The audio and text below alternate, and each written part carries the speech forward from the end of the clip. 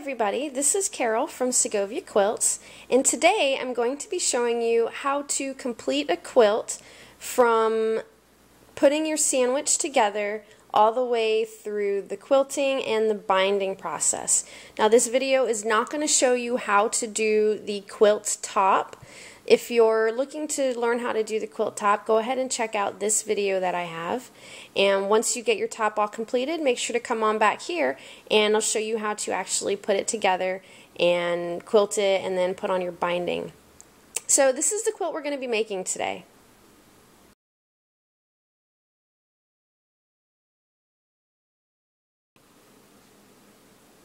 Alright, so before we get started, I wanted to go ahead and show everybody what I did to the shirts before I put my quilt top together.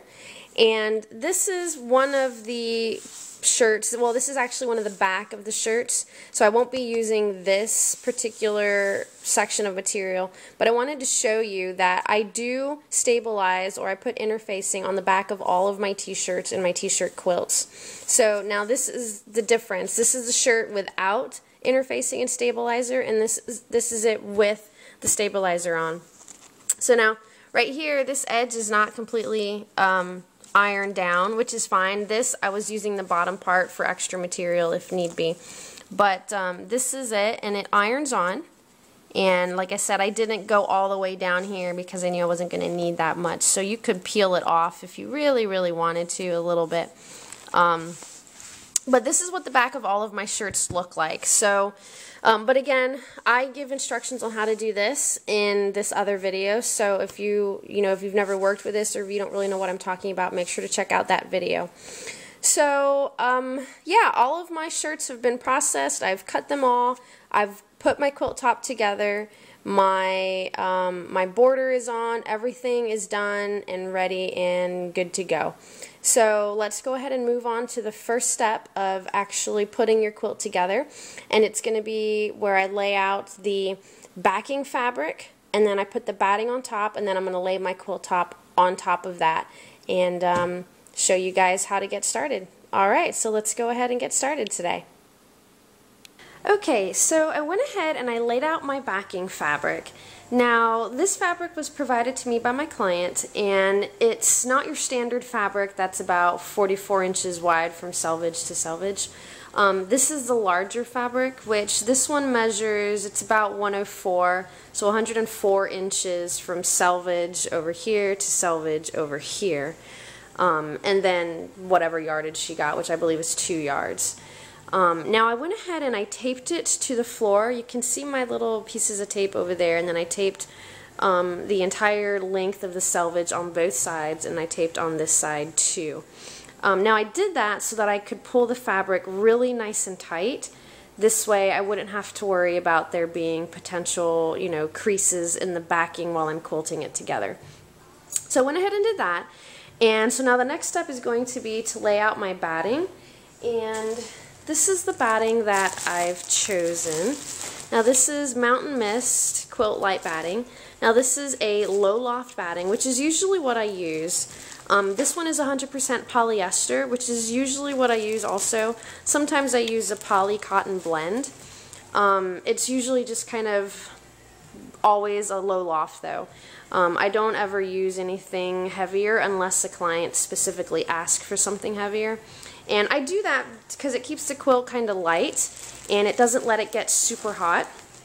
Um, so this is what I use. This is a queen size. So now what I'll go ahead and do is I'll go ahead and lay this over top of my backing fabric. Um, so I'll go ahead and do that right now. Okay, so my batting's all laid out and what I do is I just kind of lay it loosely in the middle of the backing fabric and then starting in the middle I work my way to each edge, smoothing it out, and then I work my way out to each corner, smoothing it out. Um, I didn't use any basting spray because I do my basting with needles, so right now it's just laid on there. There's nothing really keeping it together except the friction of the two, um, of the batting and the fabric underneath. So now, I'm going to go ahead and lay my quilt top on top of it and pretty much do the same thing, start in the middle, just kind of spread it out. Um, so I'll go to leave the camera on and show y'all how I do that. And because I'm doing this on the floor, I'm not wearing shoes because I will be stepping on it. So um, yeah, just kind of little extra tidbits. Let me go ahead and get the back or the uh, the quilt top, and I'll go ahead and start laying that out too.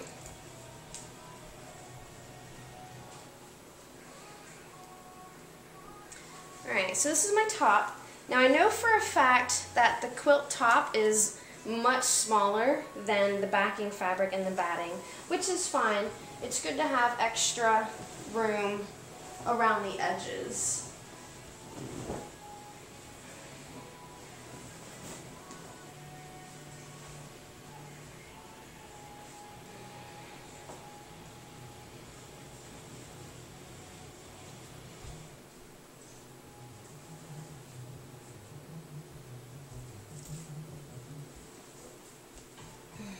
Just kind of doing it loosely right now. I'm not really trying to center it or anything.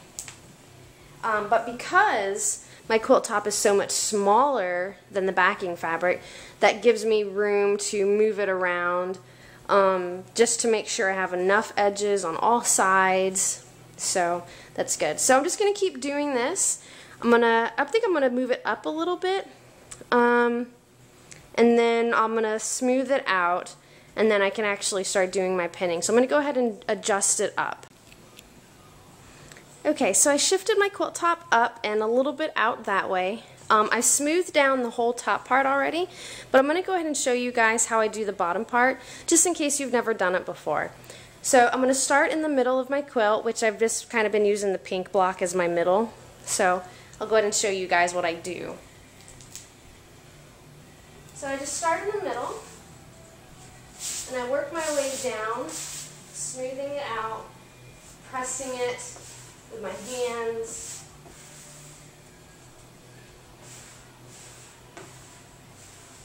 There.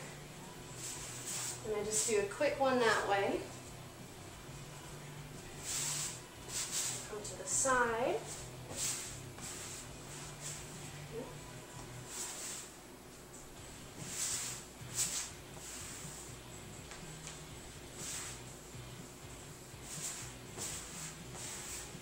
I'm just really putting some pressure on my hands just to make sure it's got a good contact with the batting because that'll help keep it in place.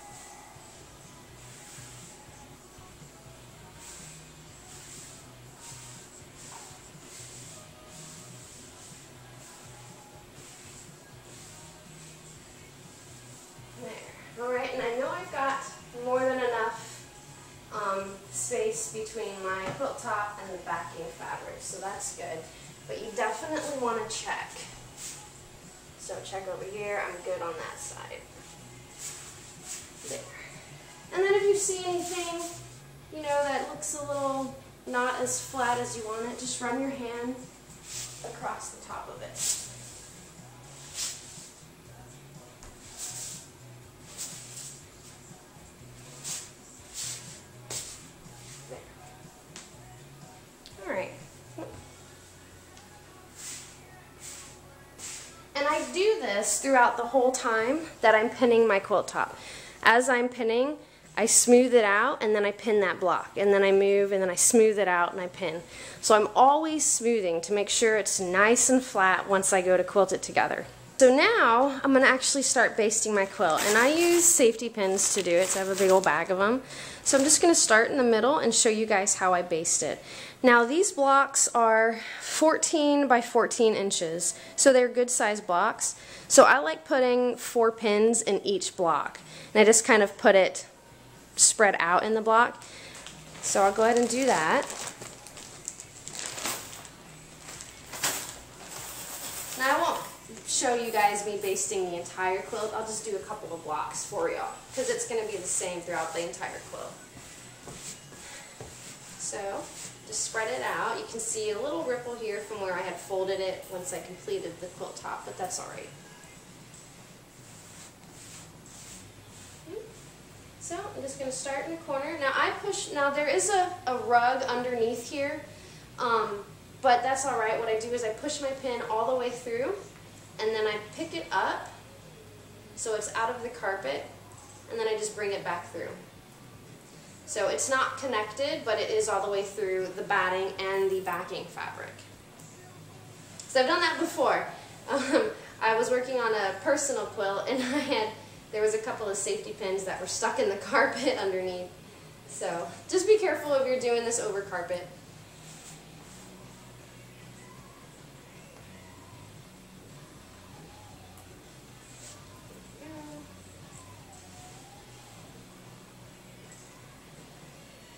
There. So I've got this one block done. Now I like to stay several inches away from these seams because I will quilt in all of these seams for every block. So I don't want to have to be bothered with taking pins out, you know, if I'm too close to one of the seams. At least this way, I can just start at one seam and go the whole length of the quilt and not worry about it. So now, I'm going to the next one, smoothing as I go. And you want to do this pretty much for all of your quilts, not just, you know, t-shirt quilts or um, squares. I mean, you can do it for any kind of shape, really. So now, this particular shirt, this logo is, um, I think it's screened on. It's not, um, I mean, it's a different kind of print. So if I put a needle through this white part, it will leave a hole. So with that, I'm going to try and get it in the purple parts. This way I don't leave a hole in the logo itself. So right here, I just went through this P and you'll never even know that there's a pin in there. And over here, I'm just going to go through this little purple ring. There we go.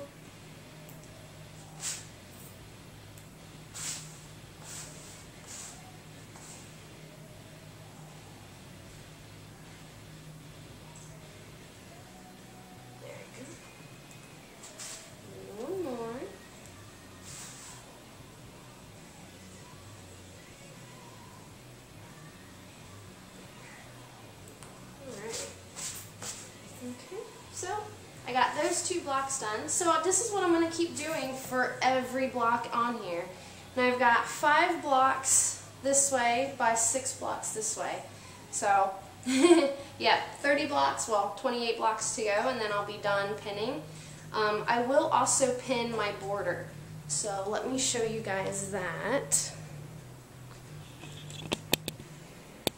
Alright, let me zoom in a little bit so you can get a better idea. Okay, so for the border, what I like to do is I'll put a pin in these seams right here. I'll pin it this way and possibly here, depends, because um, I won't actually quilt the border until I finish doing all of my lines. So, make sure you guys can see that. Yeah, I won't actually quilt the seams on the border until I finished all of my lines in the quilt.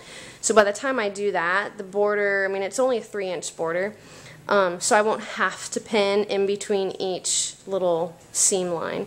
But um, if you have a larger border, you know, you definitely want to make sure it's secure before you get to quilting in that area. Or you could have ripples or puckers, and then that won't be good. All your hard work will be, you know, kind of ruined by a pucker. so, let me zoom back out. There we go. Alright, so yeah, I'm going to keep basting the rest of my quilt, and then we'll come back and move on to the next section. Okay, so I went ahead and finished basting all of that part of the quilt and that section over there. But I left this last little corner here unbasted so that I could show you guys how I do the corners just because obviously that's where you're going to have the most loose material. So I'm going to go ahead and baste these four blocks here. Zoom in a little bit. There, alright. So I'm going to start from the inside of the quilt and work my way out that way. So I just push And I do this several times before I actually put my pins in. Not just the corners, but all of the blocks. Alright, so now I'll work on this one. And I like pushing from the pin line. So I had all of these here, but I want to get as close to those pins that are already anchored so I can start pushing here and push it out. Because the fabric from here in isn't going to move because it's already secured. So I want to start from the pin line and then push my way out. Look at how nice and flat that's laying.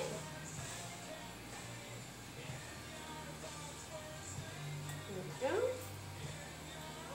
And again, I do this throughout the whole quilt. And this particular quilt is a simple style quilt, but I do the same process for my collage style quilts as well.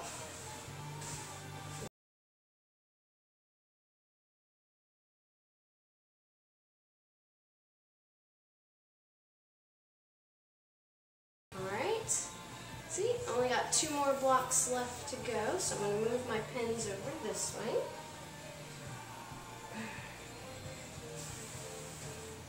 Push it out. See, and it moves just a little bit. Good.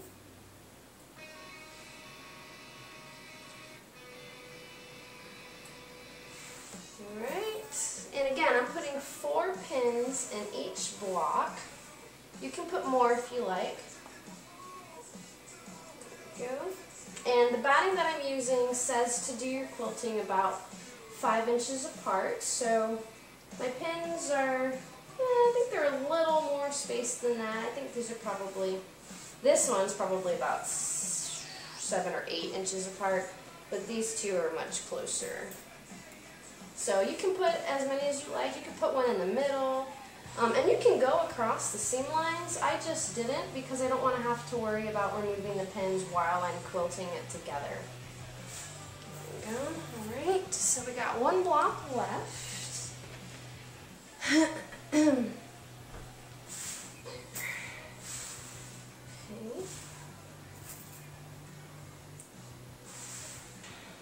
we go. Alright. So there's that. Okay, so go ahead and whoops, zoom out.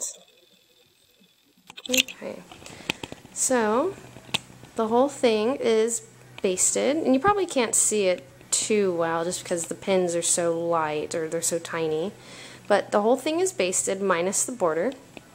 So I'll go ahead and do the border. I'll go ahead and start down here at the bottom, and I'll zoom in a little bit. There. Uh, right there. Okay.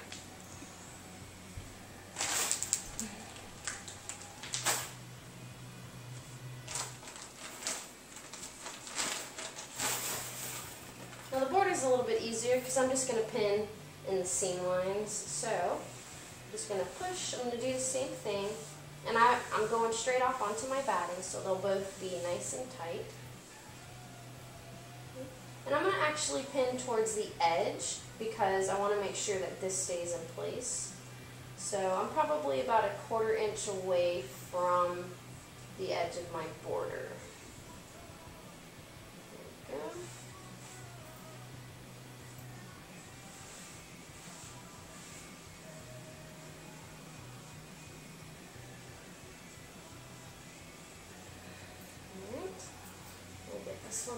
Here.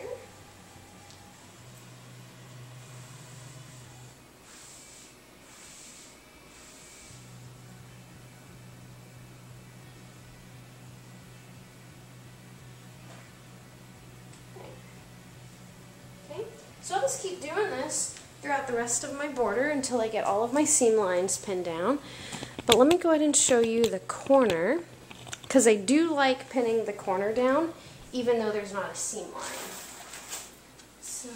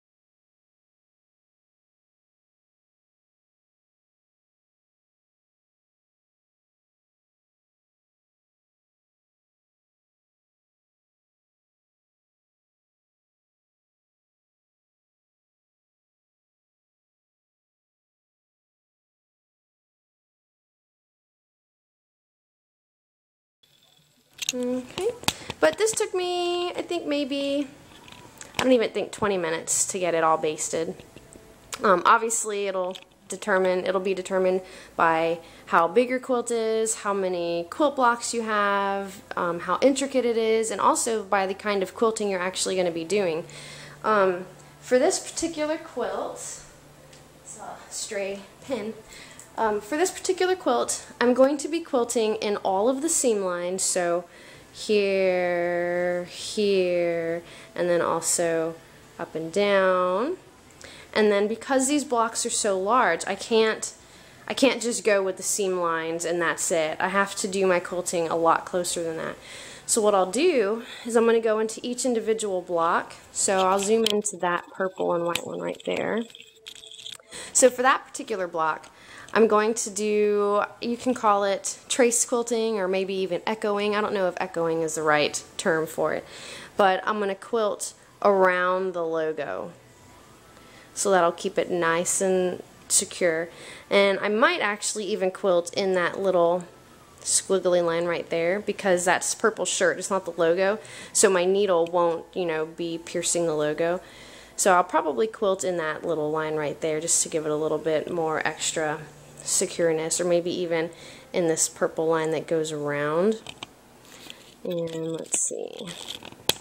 Here's a good one. So this one, I'm going to quilt, there's a little line right along here. I'll quilt in there and then I'll also do this little circle right here and I might do a little bit in the palm tree just so that it's spread out. There's quilting kind of all throughout the block. Now this one is going to be a little bit more difficult. Because the logo is only on the top portion of the shirt, that leaves a good, I don't know, maybe seven inches of the block, uh, maybe more like eight or nine inches of the block, where I don't have anything in there where I can quilt. So, hmm, I'm not quite sure what I'm going to do there. I might just do um, two little slits, kind of where my pins are, and I'll just go up and down possibly. Um, and the thread that I use, I use a clear monofilament thread on the top of all of my quilts, so you can't see it. And because I use such a low loft batting, you really can't even see where the quilting is at unless you're really looking at it. So if I just did two small little slits, you really wouldn't even be able to see it. Um, but we'll see how it comes out. I'm not sure. I don't know. I might try and think of something else to do in there. Because I got two blocks kind of like that. There's that one and that one right there where the quilting or the logo is kind of up in one section of the shirt so it'll pose a little bit of a problem when it comes to quilting but those are the only two blocks that I see that are like that so alright so like I said I'm gonna go ahead and finish um, basting my border and then we'll come back and move on to the next step Okay, so now that the basting is all completed on the quilt, it's time to move on to the next step. And I went ahead and I already took off the tape that I had securing my backing fabric. I took it off from all the edges um, because now we're going to actually trim along the edges and cut off the excess batting and backing fabric. So I'm going to go ahead and start over in that corner and you won't be able to see me for the first few seconds until I get back, you know, to this area. But what I'm going to do is I'm going to cut probably about two inches away from the quilt top. Um, and I know a lot of people, they'll tell you to leave, you know, I think four to six inches on each side. But that's really if you're going to be going, um, if you're going to take your quilt to a long arm quilter because they have to put clamps on the backing fabric and it pulls it nice and tight. But since I'm not going to be doing this on a long arm, I'm going to go ahead and cut it to about two inches away because um, that's really all that I need. So I'm going to go ahead and start in that corner and then I'll work my way down.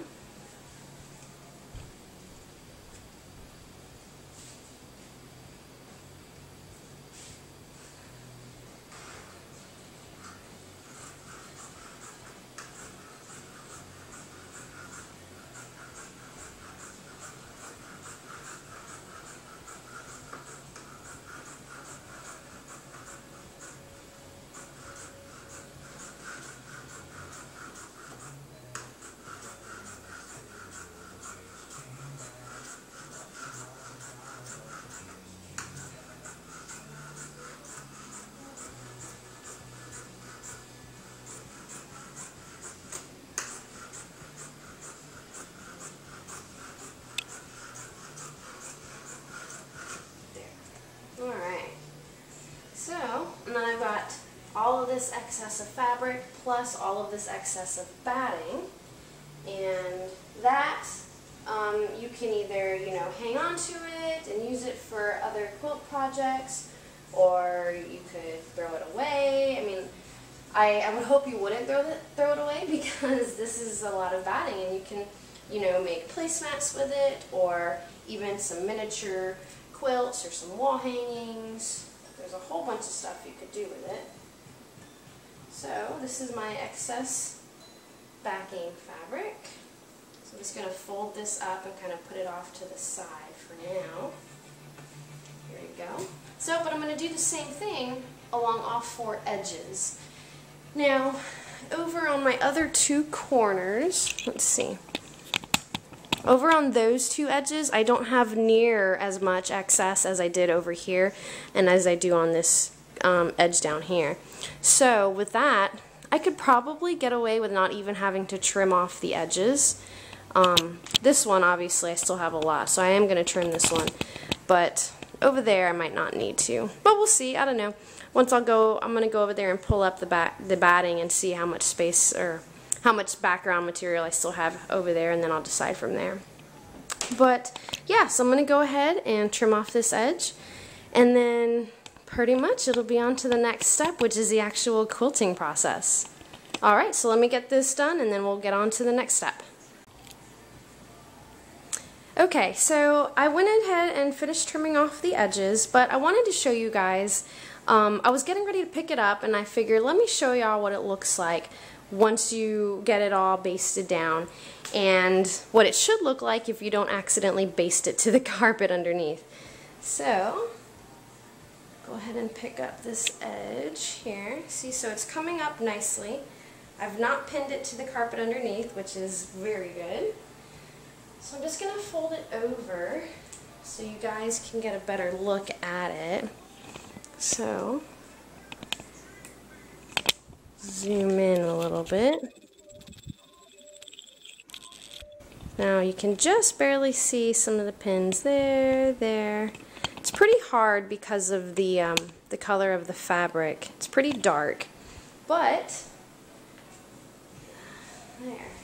If you look at it, it looks relatively nice and smooth. Let me zoom out a little bit. There. So if you just give it a tug,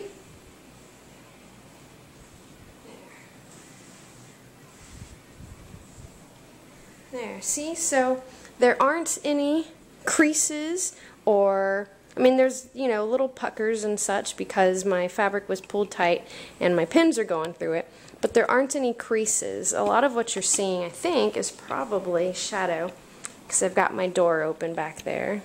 This is better. I just stepped over here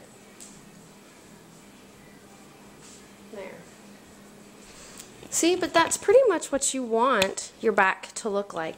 Now, if you saw somewhere in there where it was folded over and you pinned it like that, now is the time to fix it because if you sew through that and you, you know, I mean, that's it. You're going to have to go back and pull out, I don't even know how many stitches, and then relay everything out and then pull your back fabric tight and it'll just be a pain. So I suggest before you move on to the next step, look at the back and make sure it looks good. Because yeah once you start quilting it ugh, I don't even oh I couldn't even imagine having to undo it and fix something like that. So um, yeah so we can fold this up and look at this side.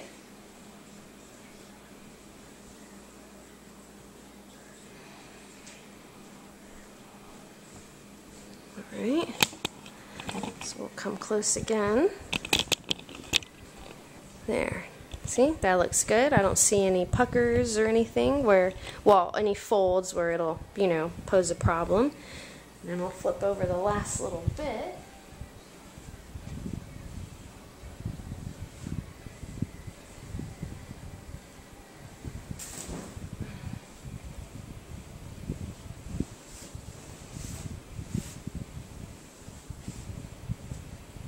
There we go.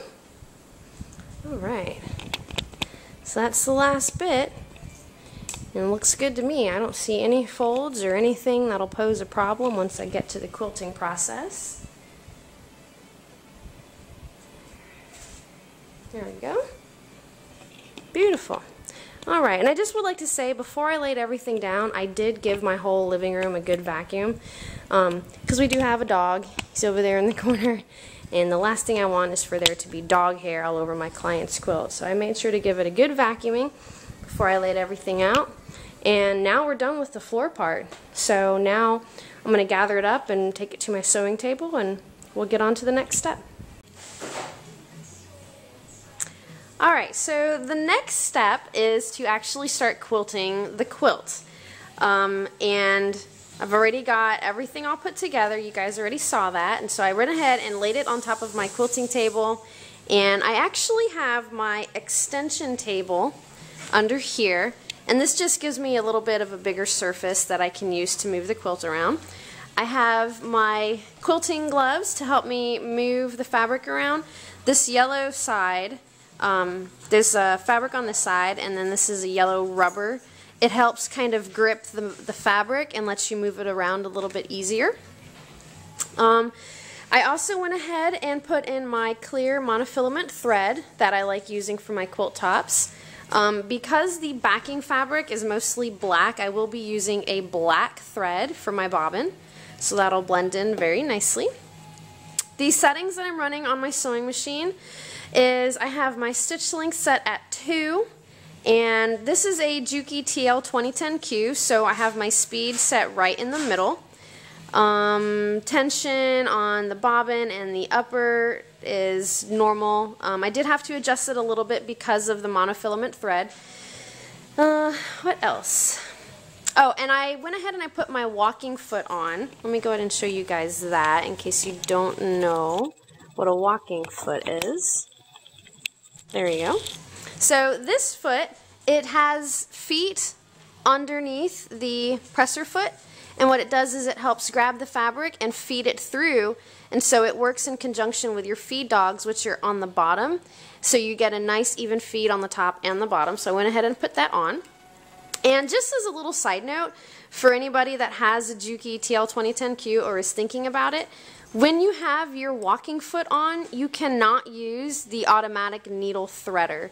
Um, there is a little arm right here from the walking foot that when you try pushing the needle threader down, it hits it right there. So you can't actually thread the needle. so I learned that the first time I tried using this, but I figured I'd just throw that out there. So go ahead and zoom back out. Here we go. All right. So what I'm going to do is I went ahead and I I have the quilt in my sewing machine and it's sitting here in the throat space. But what I did is I'm going to start in the middle of the quilt and I'm going to sew down one of the lines. So I'm just going to start here and I'm going to go all the way down. Since it's not a collage style, I'll be able to sew through all the rows here, which is three. And then I'm going to do that for all of the bottom rows. And then once I do the bottom, I'm going to flip it around and I'm going to do the top. Um, now I'm doing that to try and get more of an even um, stitch, I guess you could, well not really even stitch. I'm doing that because I feel like if I was to start at the very top and come down, like it might shift some of the fabric around a little bit and to try and alleviate that I'm just going to start in the middle and sew down and then flip it around and go in the middle and then go up. Um, but yeah, that's just what I usually like to do. But you can do it however you want to do it. If you want to start at the top and just go all the way down, go ahead. I mean, it's not going to move the fabric, you know, inches at a time. It might be a little bit off, but it's not going to be, you know, inches. So what I'll go ahead and do is I will go ahead and get situated and then I'll zoom in and show you guys um, the first stitch line. Okay, so I've got my quilt placed where it needs to be. Now I'm going to go ahead and bring my bobbin thread up and to do that you just lower the needle once then bring it back up pull that thread right up. If I can grab it.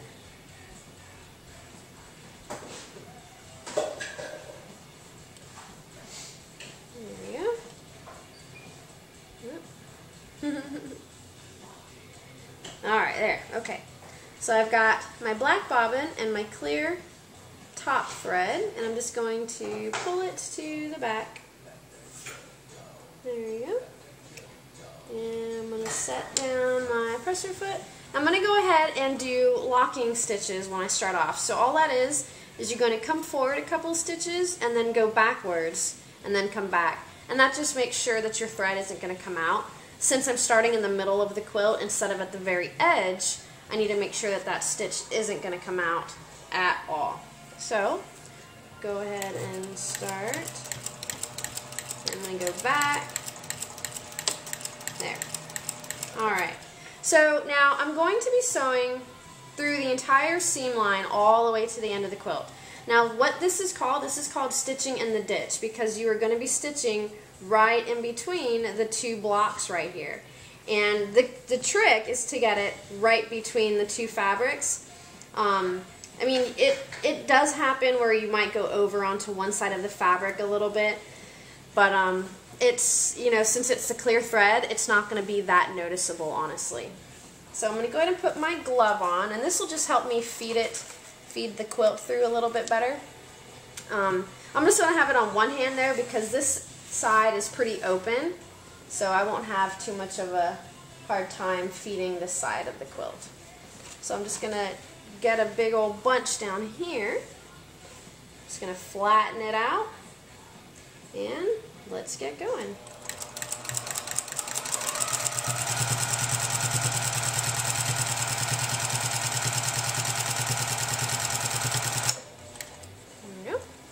Okay, and then as you quilt down your line, you just want to readjust the rest of the quilt to make sure it's not getting snagged on anything and to make sure it's not hanging down and preventing you from feeding it through.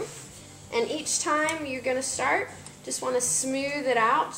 By pulling the fabric apart, you're going to be opening up that ditch right there for you to get your needle right in between the two. Okay.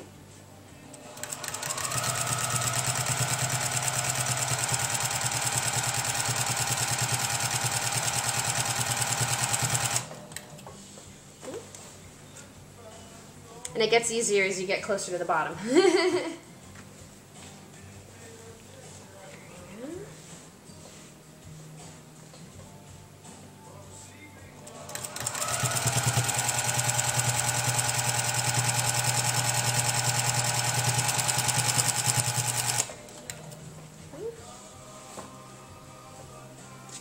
was one row that we just got through.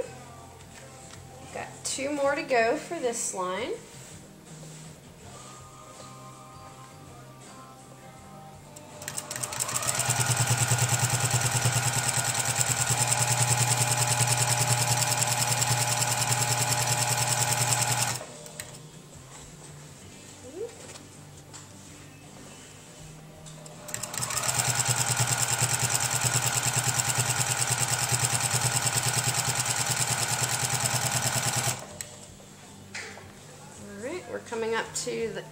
The second row.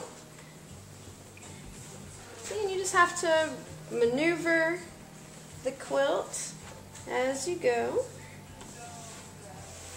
You want it to be nice and flat where you're working.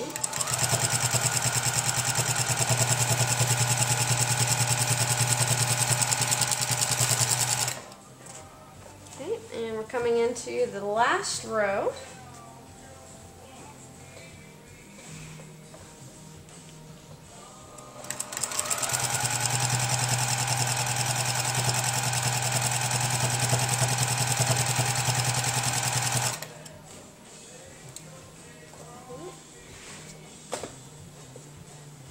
Making sure there's nothing underneath.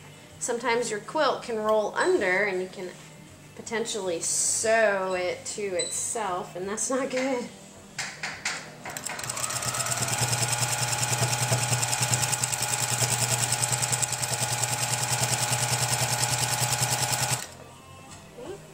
We're coming up to the end and we're coming up to our border.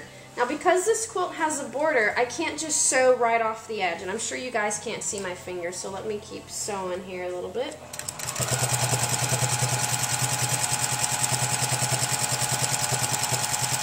Okay. There. So, this is my border, and usually what you could do if you didn't have a border, you would just keep sewing and you would sew right off the edge and into the batting. And when you do that, you don't have to worry about locking your stitch because this edge of the quilt is going to be encased by the binding when you put your binding on. So it would look like that. But since I have a border, I can't just sew right off the edge. So what I'm going to do is I'm going to come to the edge right here between the block and the border and then I'm going to do a back stitch and come back. So let's go ahead and do that. There you go. Back stitching a couple of stitches. There you go. And I could cut my thread here, but I'm going to just bring it up and I'm going to cut it myself um, instead of having my machine cut it. There we go. And by doing this, when I bring my thread up for the next row, I'm going to have enough of a tail from my bobbin thread that I'll actually be able to get it up. Because if I use the thread cutter on my machine, it cuts it so short that when you try pulling up your bobbin, you're not going to have enough thread to get it up.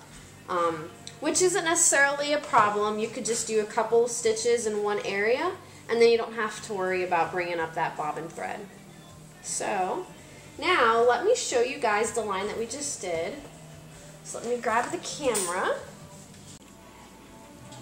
Okay, so this is the seam line that we just did. So now I'm just going to show you. I'm going to try and open it up so that you guys can see. You can't even see that thread. See? Look. Nothing. It just disappears right into the quilt and that's why I love using the clear thread because you can't see it at all. So now let me flip it over and show you guys the back. Okay, so now here's the back.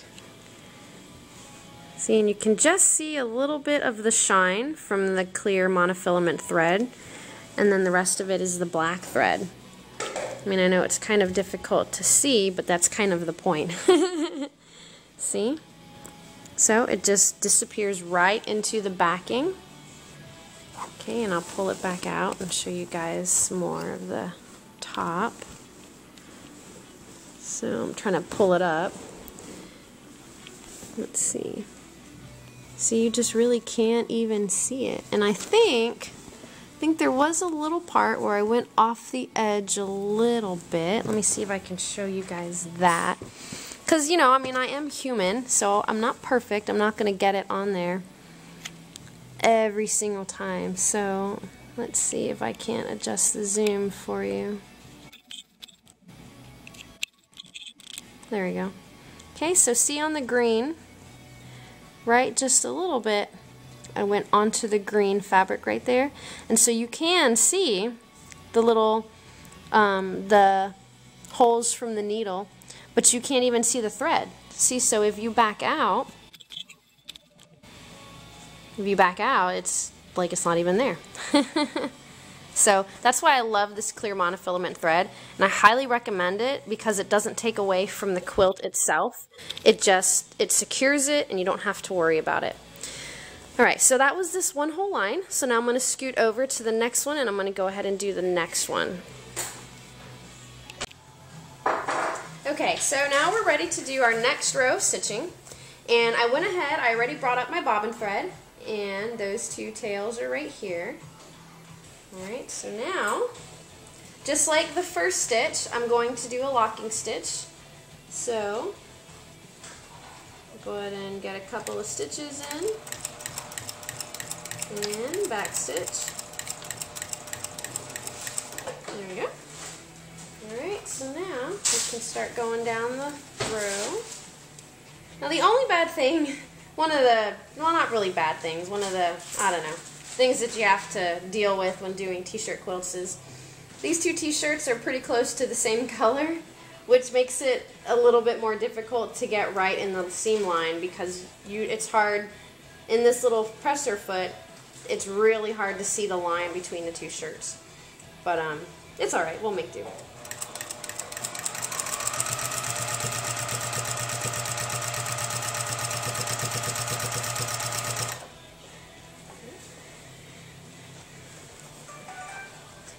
try and make sure that this isn't in your way. I hope it's not.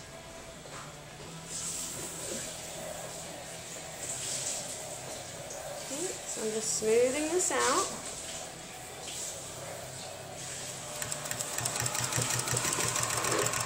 I'm going a little bit slower on this one just because it's hard to tell the difference between the two shirts. And I don't want to end up coming off of that seam line and not realize it. So I'm just readjusting. And again, I'm going to check and make sure that there's nothing underneath. There we go.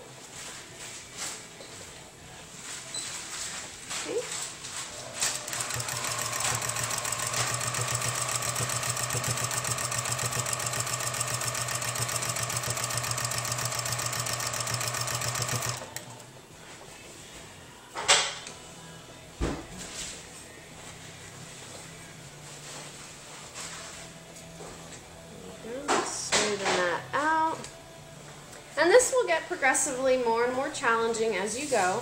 Especially, I still have one more seam line to do over there. Um, and because I'm coming down, that means I have to put all of this into the throat of my machine, which just makes it, you know, more and more difficult to get it to lay nice and flat. So, there's that. And again, I hope this isn't in the way. Okay flatten that out.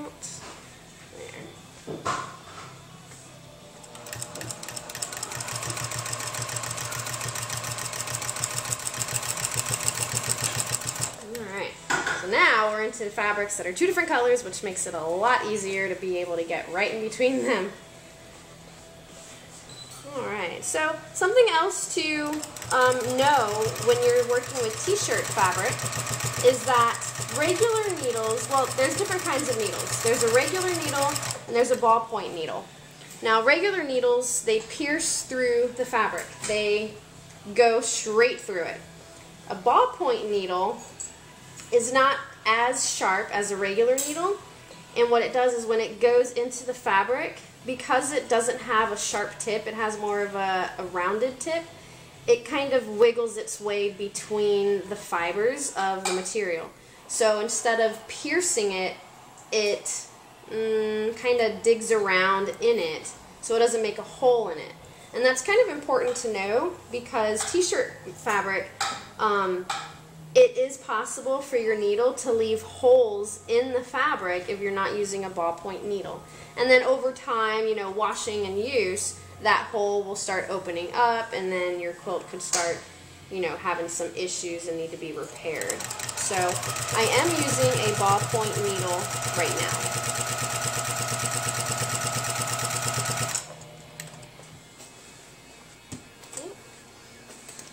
On the second to the last row right now. Just readjust that. There we go.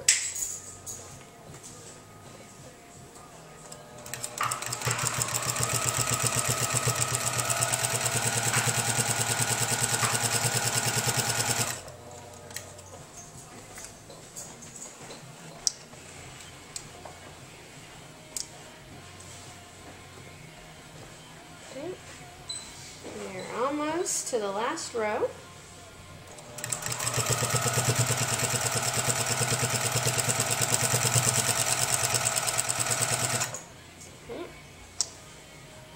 I'm just going to start pulling the rest of that quilt through. Again, I'm checking the bottom. We're good there. Pick up the end of this. Alright, and these two fabrics are kind of a pain too because even though they're two different color fabrics, under the presser foot where you have less light, it gets harder to tell where the two fabrics meet up.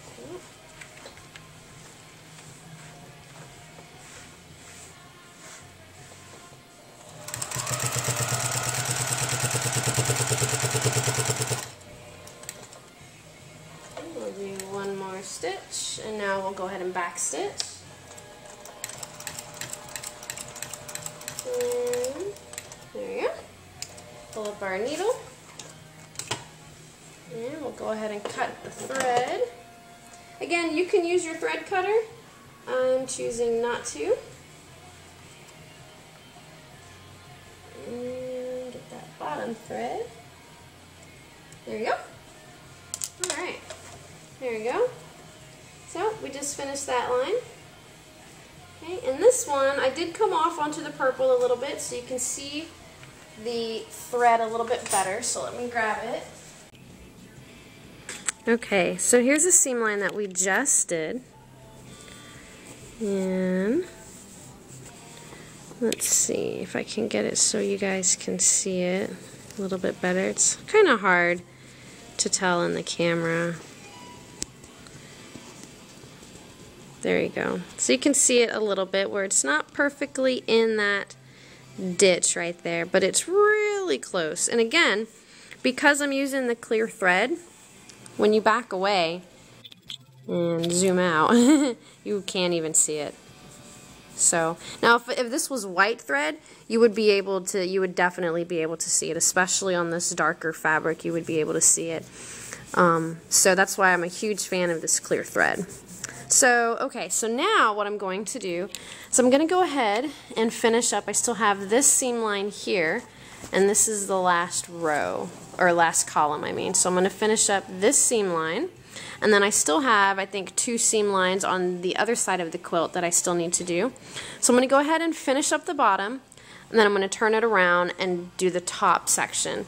And then once I start doing my side-to-side -side rows, I'll go ahead and come back so I can show you guys how to do those or what it's like doing that. Alright guys, so here's the back of the quilt after I just finished quilting down all the um, columns. And there's five columns, so this is column one, two, three, four, five.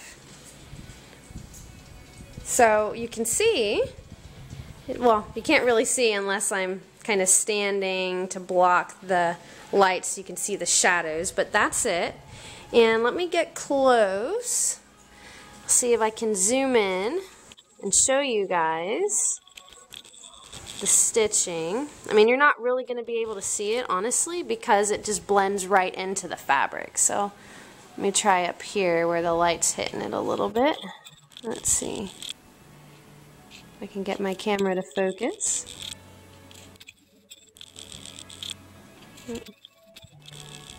There you go. Okay. So you can just barely see it. I mean, and that's good. That's what I was going for. That's why I used a black thread back here so you couldn't see it. So, that's what it looks like. So I'll go ahead and turn it around so you guys can see the front so far. Okay, so here's the front. And again, I already quilted down this line, or row, this one, this one, and that one. I've not done the edge for the borders yet. I'm going to do that very last, right before I do the binding. But as you can tell, I mean, you can't really even tell that it's been quilted. You know, I mean, I can grab it right here, and that's really the only way that you know because it's not coming oh, it's not coming away from the batting and the backing. But you can't even see the stitching at all. And that's part of why I like using the clear thread and why I do stitch in the ditch. Because I'm securing everything, I'm securing all three layers, and it's not taking away from the t-shirts themselves. So when you look at this, all you're going to see is the shirts. You're not going to see, you know, white thread jumping off from out of the ditch. And, and I don't do an all over quilt pattern on my quilts um, for a couple of reasons. One, I'm still learning how to do it. and two, I, I don't want to take away from the shirts because if I did an all over quilt pattern, especially if I did it in white thread, you're going to see it in pretty much all of these shirts because they're all relatively darker colors. I mean, the gray, not so much. That white one up there, you're not going to see it. but all of these darker colors you would definitely see an all over quilt pattern. Um, so that's why I just kind of stick with what I do, quilt in the ditch, and then I also do quilting around the individual logos. So now that we're done with the columns, I can go ahead and do the rows, which is going to be quilting in there, there, there, and all the way up to the top. Um, now also, there are a couple of shirts. So like this one here is pieced. This one is pieced. And where's the other one? There's one more shirt that I had to piece. Um, oh, there, right next to it. so because those are pieced, I will quilt in the lines going across there and in these lines here. Um, it'll just add it, you know, a little bit more secureness, especially this one here, since the logo is on the top part and there's going to be this whole block on the bottom that's not going to have anything in it. So by quilting in that seam right there, it'll help give it that little extra bit of secureness that it needs to stay nice and neat. So I'm going to go ahead and set this up on my machine. And again, I'm going to start in the middle and I'm going to quilt out. Um, now because there are five columns, um, obviously, you know, I'm either going to have to start right here, which is not quite the middle, or there, which is still not quite the middle. So what I'll do is honestly, I'll probably just start right here and then quilt out. And I'll do that all the way down and all the way up. And then once I finish that, I'll flip it around and then I'll quilt the remaining section of the, um, the rows. So let me go ahead and get this set up and then I'll go ahead and show you guys the first couple of the quilting lines. Alright, so I've got the quilt set up and I did roll it. Um, usually I just stuff it in the throat space of my machine, but because I'm essentially quilting from the very bottom of the quilt on up so I can do my my um, rows, I it wasn't going to fit and I didn't want to deal with it. So I did go ahead and roll it. And so now I'm going to start. I went ahead and I pulled up my bobbin thread and that's down here. And here's my top thread. Alright, so now I'm going to go ahead and start by doing a locking stitch.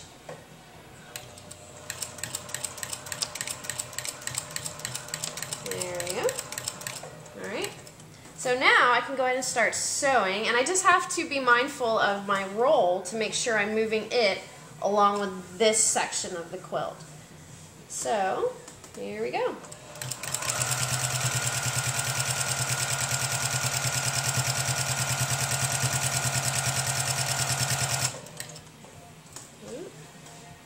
Move that. We gotta straighten it out down here too. That's the only bad thing about rolling it is it can be a little bit cumbersome to deal with it and make sure that the rest of your quilt is nice and flat. Because if it's not flat up here, it's not going to be flat underneath. And underneath is where you really need to be careful because you can get a pucker in your backing fabric and not even know it until you're completely done with the quilt and you're inspecting it at the very end. So yeah, you definitely want to make sure it's as flat as possible up here.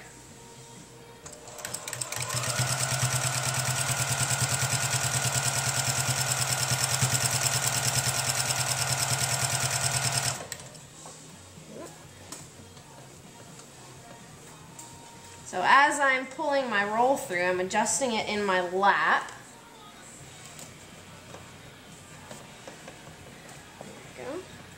And I'm adjusting it underneath the roll in here. Okay, so we're a couple of inches, we're probably about five and a half inches away from our first seam line that we're going to be crossing over. And this is where you want to make sure that you're pulling it nice and tight so that you don't have any puckers in your fabric when you get to that first seam line.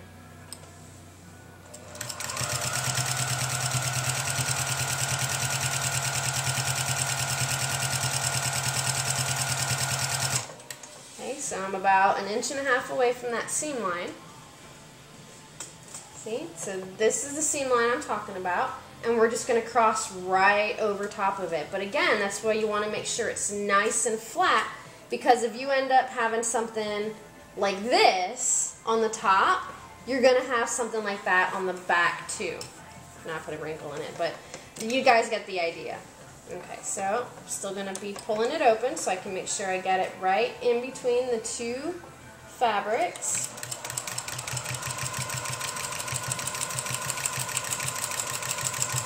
There we go. Right over it, no problem.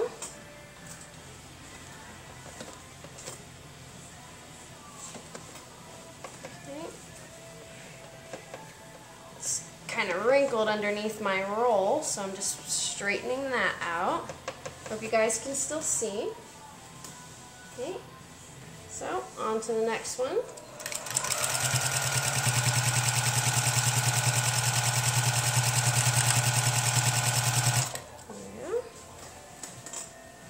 And sometimes you can only go a couple of inches before you have to readjust. And so it can be a little bit of a slow process, but that's all right. There we go. Okay.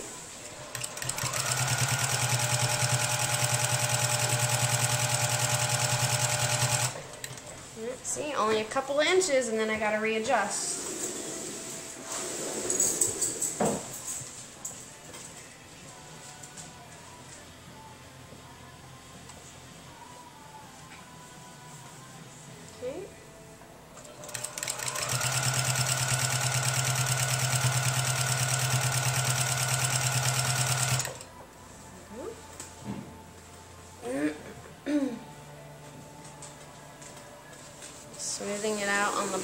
Side. We're a couple of inches away from our next seam line.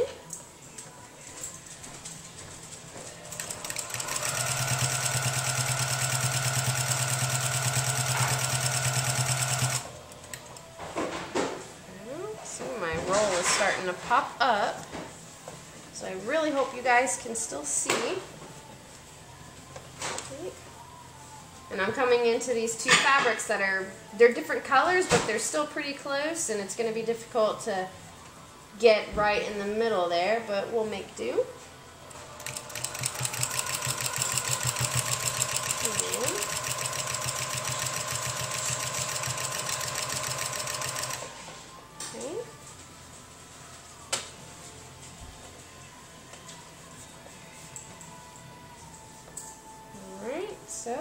Finish up this line.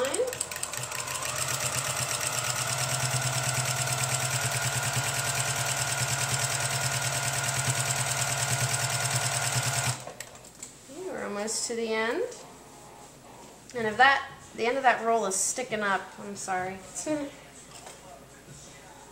Okay,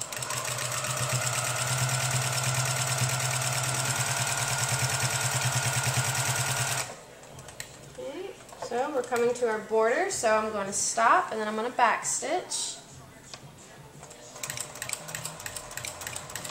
And go back forward again.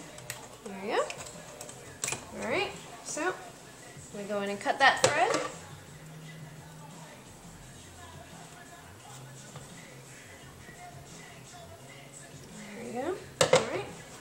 So, what I'll go ahead and do, since I'm at the end of the quilt, I'll go ahead and take it out and flip it over so you guys can see the back. Okay, so here's the back section of the quilt that I, or the quilting that I just did. So these two lines here were the lines that I did for my columns. This line here is the first line of quilting that I did for my bottom row of the quilt. So, I mean, you can see here, it looks very, very nice. I don't have any puckers. So let me go ahead and zoom in so you guys can get a better look at that. And hopefully it'll focus for you. There we go. Okay. There. See? Look at that. There, it didn't gather up. It didn't do anything that it should not have done. And this is because I pulled the backing fabric really tight when I was laying it out. So let's go ahead and move up. And here we go. See? So like if you're not careful, like if I pushed enough, I could get it to fold over. And like it could do this, and then you, if you sewed over that, you're forever gonna have that little seam right there in the back of your quilt.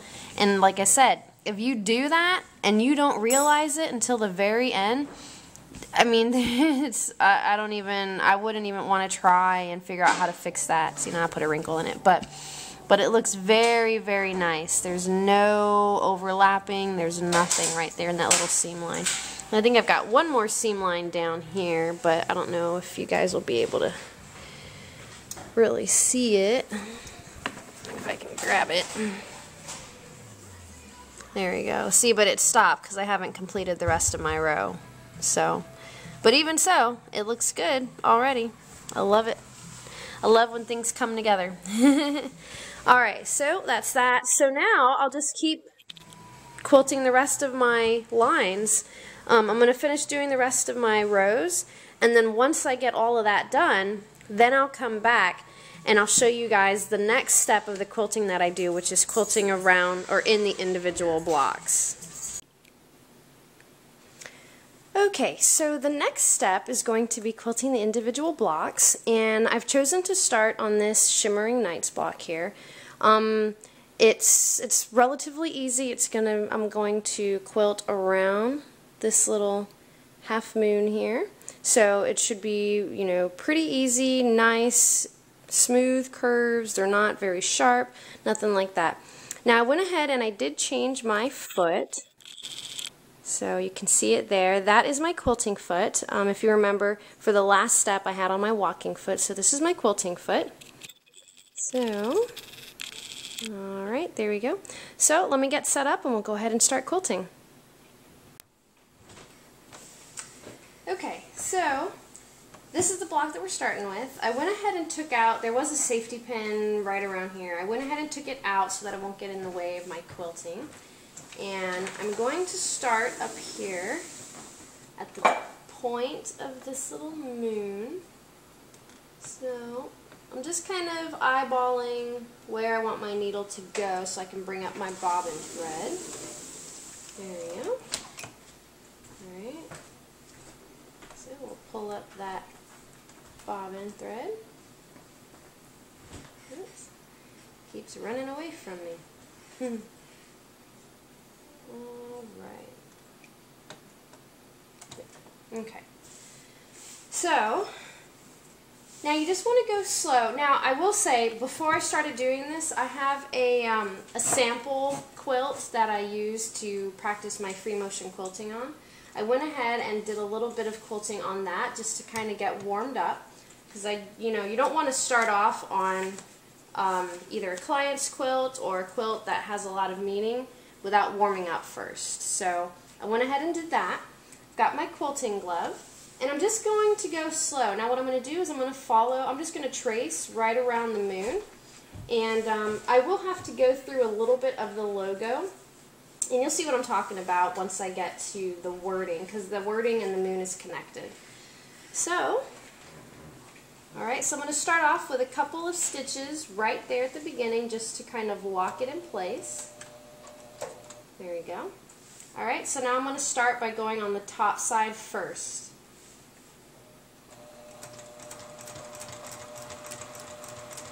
And once you get comfortable with your speed and stitching, then you can increase it if you like. If not, there's nothing wrong with staying slow and steady. Adjusting my quilt a little bit. Alright.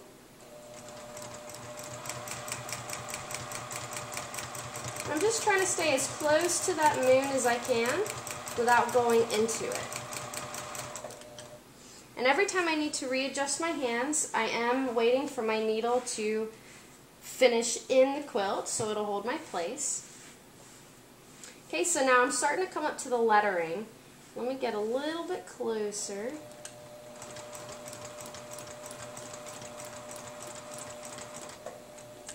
There, okay. So now right here you can see what I'm talking about by how the moon and the lettering connect. So I will have to go through that, but it's not a big deal.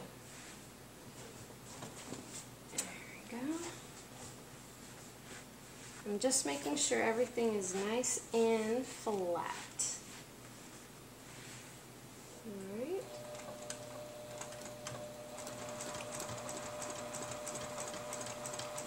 Alright. There's nothing wrong with going slow and steady.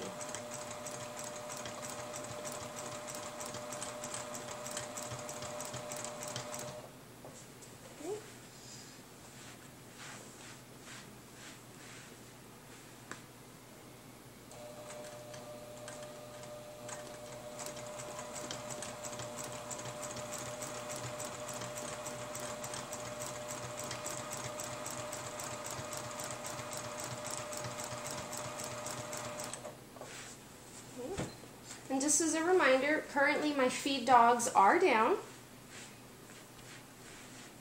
Alright, so we've got maybe about another three inches left before we get to the tip of the moon on the bottom side.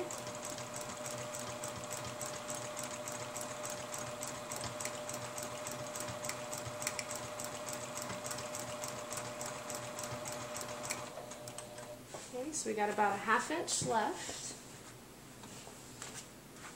Okay, so what I'm going to do is as I get towards the very tip of this moon, I'm going to stop and then I'm going to start coming back so I can go back on the inside of the moon.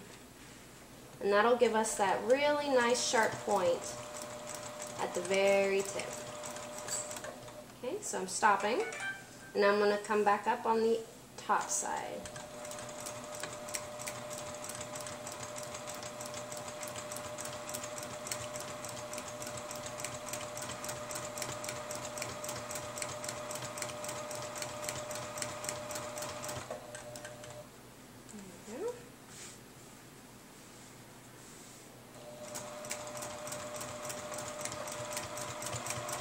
I'm going to pick up speed a little bit. Now, as your needle speed increases, your hand speed increase as well. That'll give you that nice consistent stitch length. Okay, so now this is where it's going to get a little bit tricky because my logo is actually behind my foot. So what I'm going to do is I'm going to pick up my foot and rotate my quilt just a little bit. Now I'm not going to move the whole thing because I don't need to. I have enough quilt here to play with. But I am just going to turn it a little bit so that I can see where I'm going. There. And that's a good idea to do when you're doing your quilting because if you can't see where you're going, then you're not going to get a very good stitch because you're going to be unsure There we go. Alright, so now I'm going to continue on.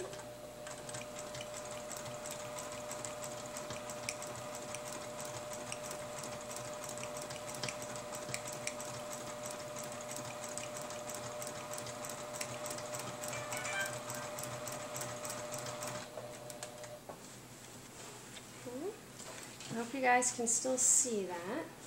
So now, if I wanted to, now I could turn my quilt back to the way it was since I've come out of that portion of the moon that was behind. But what I'm going to go ahead and do is while I'm stopped, I'm going to go ahead and cut my threads from the very beginning of that moon. There you go. This way I don't have to worry about them as I come to the end of my moon here. So I'm going to put my glove back on. Alright, so I've got a couple more inches and then we'll be done with the moon. Helps put the foot back down. Alright.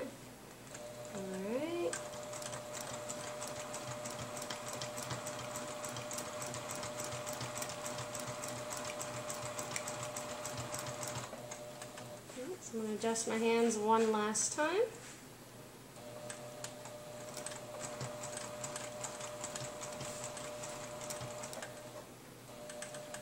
I'm just going to take a few stitches just to make sure my moon halves connect. Now I'm going to do a few stitches in place and now we can go ahead and cut our thread.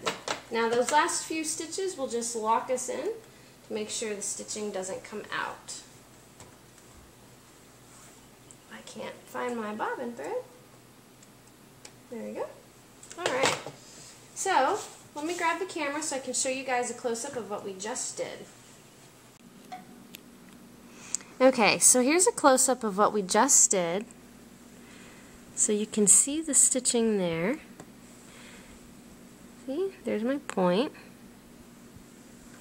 Looks very nice. Now you can see, I mean, it's, I stay along the shape of the logo, but there are some places where I, you know, come away from the logo a little bit more and places where I'm close.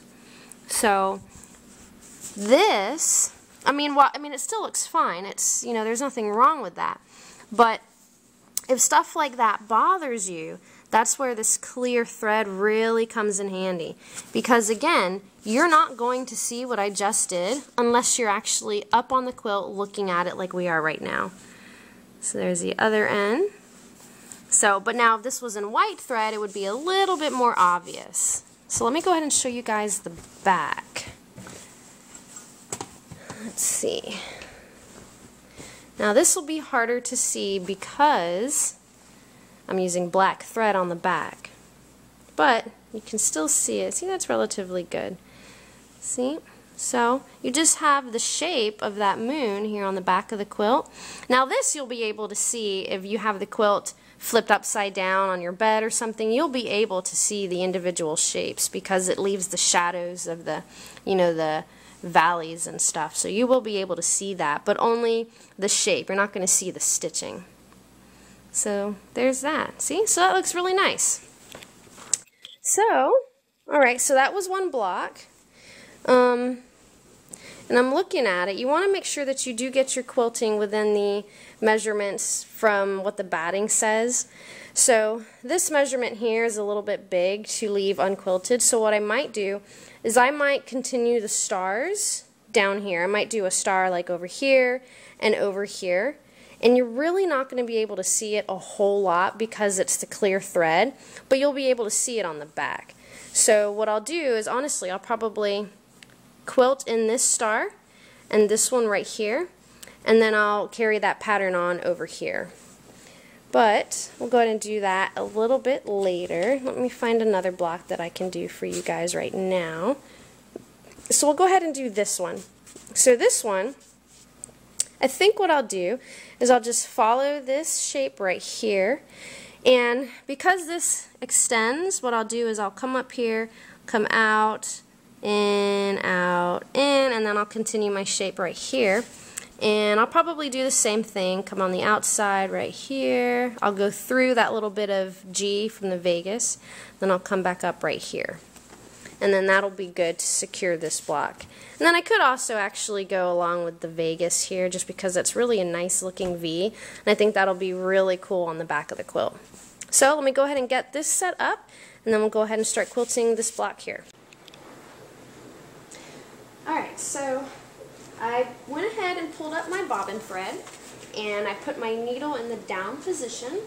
So now all I need to do are a couple of locking stitches and then I can go ahead and start my quilting around this logo. So let's go ahead and take a couple of stitches and then I'm just going to go right into it. So I like to take three or four and then off we go. I'm going to stick pretty close to the logo. Um, because this one kind of goes off into different directions, I don't want to go too far away from it. So, I'm going to go ahead and stop so I can take out this pin. Say readjust the quilt a little bit. So take that one out.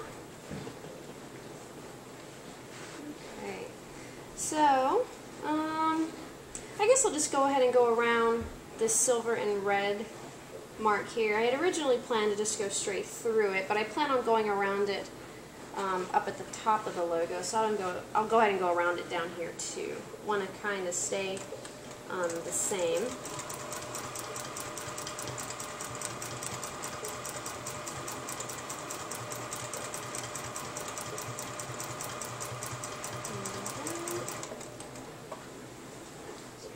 Just a little bit. Now I do have a needle coming up or a pin coming up over here, but because it's um, not super close to my logo, I'm just going to leave it there for now.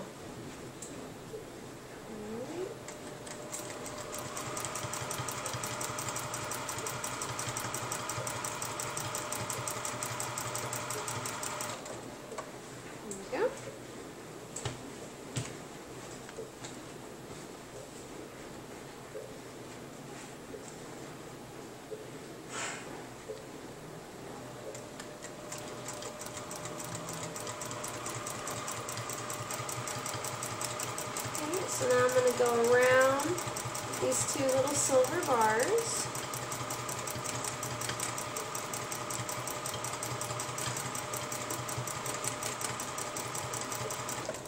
I'm going to go ahead and stop.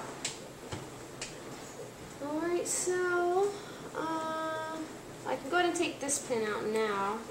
I was looking ahead to see if I have any other pins that are going to get in the way. And I'm go ahead and take out my top pin now, just in case.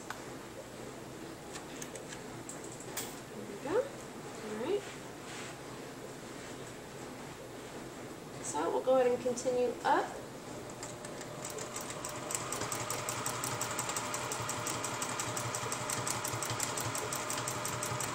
And go around. There you go. Beautiful. Alright.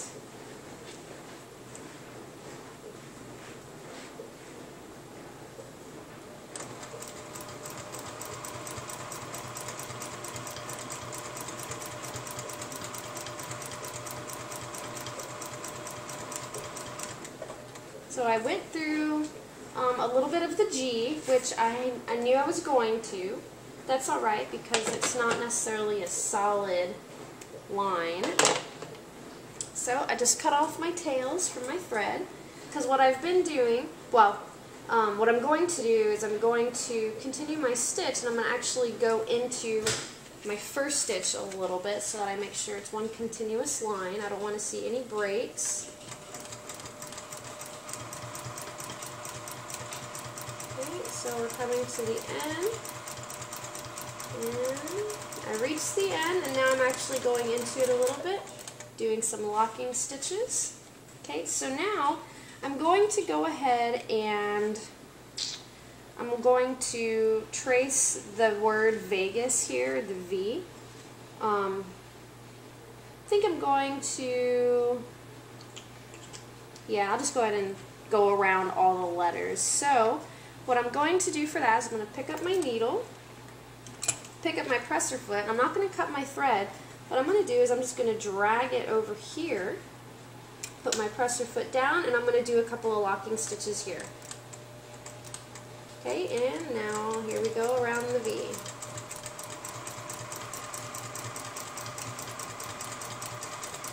Now by doing this, I'm saving thread because I'm not having to pull it out and cut it.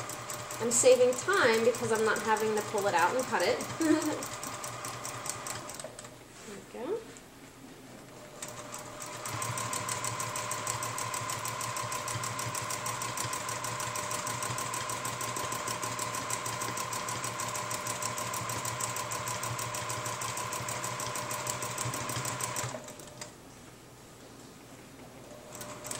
Okay, so now I'm coming back down to the logo, so I'm going into my original stitching, and I matched it, and now I'm just continuing on with the rest of my V.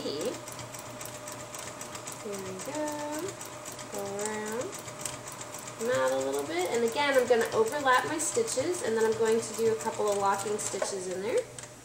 There we go, so we'll pull that up, and I'm going to jump right on over to my E, and same thing, I'm going to do a couple of locking stitches and then I'm going to get going.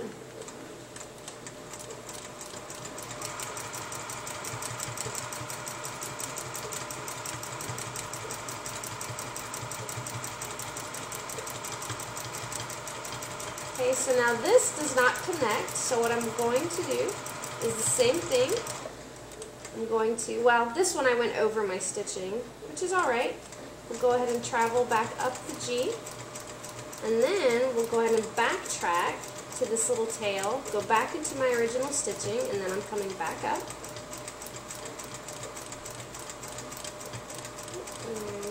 Okay.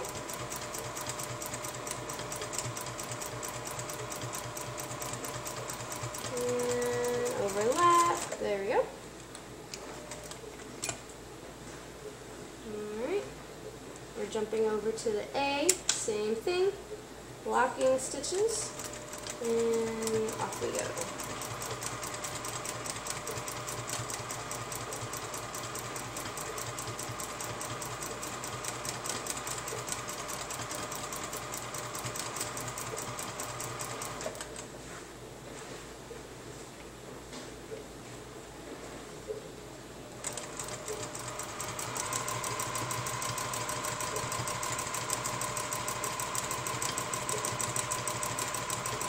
So I went into the logo a little bit there. But again, because clear thread, you're not going to be able to see it. And on the back, it's going to look completely natural. The only people that'll know that I did that is me and you guys. So that's the end of the word. So now I'll go ahead and cut my thread.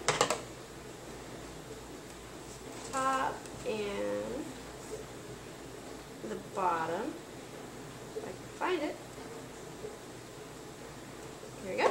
Alright, so now we have all these little lines of thread connecting. So what we're going to do is we're going to start back over here. I'm going to snip that, snip, I'm going to set that aside so I can get the rest of them. Snip,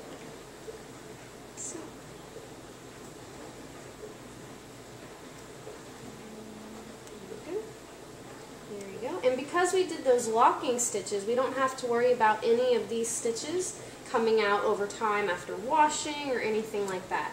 So it's nice and secure. So we go ahead and throw these little threads away. And now I have to do the same thing for the threads on the back. So, and that's the same way again too. So I'm just going to pull this out and flip it. There we go. Alright, so now I just find my first thread, which is right here. So snip, snip, and I hope you guys can see. I know I zoomed in for this shot, so I don't know, this might be out of your camera frame. But if you can't see it, pretty much I'm just snipping all the little threads. there we go. Alright, so let me grab the camera and I'll show you guys a close-up here so you can try and see. Remember, it was in the G where I crossed over my stitching, which was a mistake, but it's going to look completely fine back here. So let me grab the camera and show that to you guys. Alright, so here's the lettering. Now granted, it's all upside down and backwards, um, but there is, let's see, right there is where I crossed over my stitching line. And again, it was an accident, but it doesn't look bad on the back side. See, and let's see. There you go. See, so you can see it there. See, so any mistakes that I know I made on the front look just fine on the back. Which is good. Plus, because I did this with the black thread on the back, my, um, well, it's it's allows it allows forgiveness. so you can't really see mistakes. But again, mistakes that I make aren't going to be noticed by other people. It's going to I'm going to notice it because I know that I made a mistake, but nobody else is going to notice it. All right. So, let's go ahead. Now I have been doing some quilting on the rest of the quilt. So I'll just go ahead and show that to you guys right now. Um, I've got most of it done. I actually only have a few blocks left. But um, So I'll show you this one. So this in memory of Bo, Emily, and Morgan. You can see I did, I traced around it, but I went kind of far. And actually, I used my, my foot as my guide. So where the needle was, I kept the logo right on the outside of my foot all the way around. So that's how I got that nice little fluff to it. And it adds kind of like a nice little, I don't know, it makes it look poofy, which I kind of like. so I just went around all of them just like that. There you go. And let's see. Let me show you guys this one here. Well, here's the palm tree one. So for this one, I stitched right down here, and you can't even see it because I got so close. And then I stitched around the palm tree.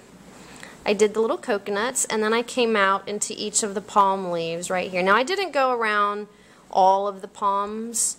I just went straight down the middle and then back, up and back, up and back. Um, but this shirt here, now this is one of the shirts that the logo was up here at the top and there was nothing else below. So what I did was instead of doing the slits that I had originally thought I was going to do, I just, I measured this out, which was nine and a half um, inches. And these two lines were an inch and a half apart. So I measured down an inch and a half, inch and a half, inch and a half, all the way down. And then I did another line right underneath it, but I shortened it by an inch. So this is nine and a half, eight and a half, seven and a half, six and a half, all the way down. And that's what I did. So it's like a little pyramid here. Now you can still, I, I drew, I used a marking pencil on here. Not a marking pencil, but it's uh, my disappearing ink pen that I used on here. And it's already starting to disappear. It used to be a bright purple, but now it's because of the air, it's air soluble. But so now you can see it's like a nice little pyramid, and I think it goes pretty good in here. I thought it looked pretty nice. So let's see, what else can I show you guys? Like I said, I've been doing this pretty much all day today. So this one here, um, again, I used my quilting foot as a buffer, so I'm a little bit away from the logo. Let me see if I can show that to you guys. Let me grab my phone. I've got my flashlight on so that y'all can see. We got some storms coming in, so it's kind of dark out. But, so there you can see how I'm a little bit away from the logo, all the way around. And then I also quilted in this line right here. I quilted all the way around right here, which got a little difficult down here because this line is much more narrow than it is up here. So, yeah. So that's just a bunch of the quilting that I've been doing today so far on this one. And here's another one that I did. Now this one I also left connected. Um, and I still need to go through and cut my connecting my connecting threads amongst all the letters and everything. Same thing on the back. Here's another one. I quilted this part and this part. So I still have, like I said, a couple more blocks to do. And then once I finish quilting all of the individual blocks, then um, we'll move on to the next section, which will be actually quilting on the, um, the borders. So once I get everything done, then we'll go ahead and secure down our border and go in all the joining lines. So let me go ahead and finish up these last couple of blocks and we'll move on to the next step. Okay, so I have finished quilting all the individual blocks of the quilt. So now it's time to sew down our border. Um, now I'm going to start up here um, at this seam line. So I'm going to start going down and for that you can do you can do it two ways. You can pull up your bobbin thread here if you want. Um, I'm not going to do that because I'm actually going to do a locking stitch. Now you could do that if you pulled your bobbin thread up. You could just take several stitches right there and then go. Um, but I'm, I'm just going to go ahead and leave my bobbin thread down below and I'm just going to do a locking stitch. Now I have switched out my foot. I took off the free motion quilting foot and I put my walking foot back on. And I brought my feed dogs back up as well. So I'm going to go ahead and lower my presser foot. And we'll take a couple of stitches. And I'm going to back stitch. Alright. Now I'm going to make sure I have my quilt not pulling down so that I can feed it through nicely. Alright smooth it out, and we're ready to go.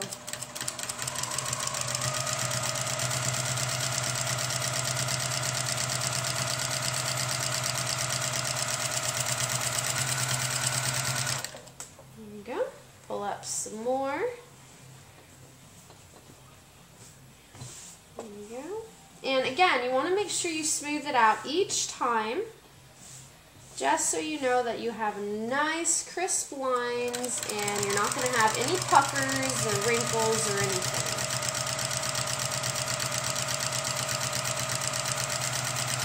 Alright, so we're coming up to our first sewed seam intersection and that's going to be this one right here.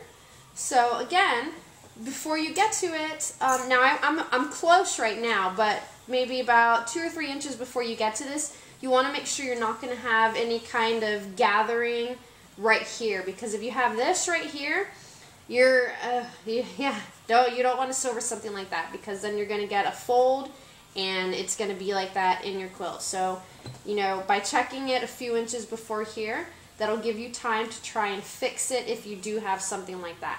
But if you have something like this, there's no way you can fix that. That's like a half inch on each side. That's like an inch difference, and yeah, that's ooh, that that pretty much requires you to take out some stitches to fix that.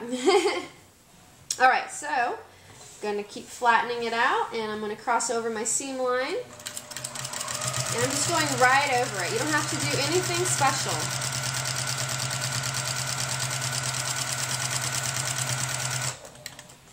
Okay, there we go. I'll show you guys a little bit more. Um, I'm not going to show y'all me sewing the entire side side border because that'll get boring, I imagine. I'll show a couple more inches.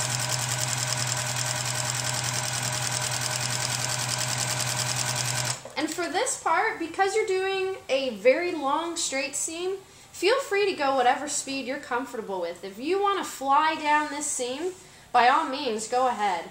Um, Let's see, let's see if I can get it up a little bit faster.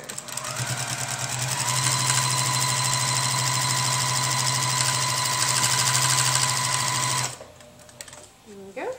See, so do whatever you're comfortable with. If you want to go slow and steady, definitely do that. Um, you don't want to end up trying to go fast and then veer off course. Alright, so I'm just going to keep sewing down the side seam, and once I get a couple inches from the bottom, I'll go ahead and come back and show you guys what to do at, at one of the corners. Okay, so I've come down to the end of the quilt and I'm going to show you guys what I like to do when I come down to a corner. So now depending on how your border is, if you even have a border, if you don't have a border you're not going to be doing this step, but depending on how your border is pieced, um, your border right here might come all the way down this particular one doesn't. So what I'm going to do is I'm going to come down the seam and then I'm going to turn the quilt and come out this way and finish it up.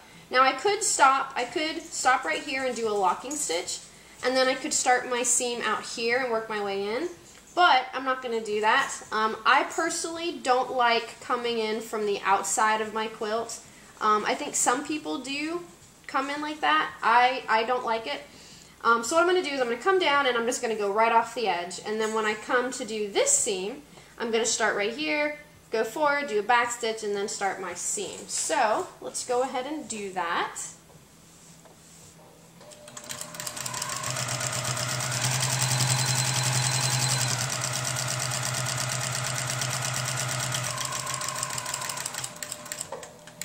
There we go. So I'm going to pick up my presser foot, my needle, stops automatically in the down position. So if your machine does not have that option, then simply turn the hand wheel on the side to get your needle to stop in the down, and then you can rotate your quilt. Okay, so I'm going to drop my presser foot back down. I'm going to go ahead and remove this pin. There we go. And I'm just going to sew right off the edge. So here we go.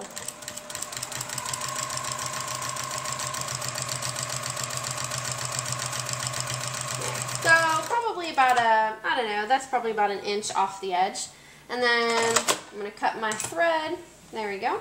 Now because you came off the edge into the batting, um, you don't have to do a locking stitch because you're going to cut this off and then this part right here is actually going to be encased in the binding so you won't have to worry about any kind of um, unraveling of your thread or anything like that.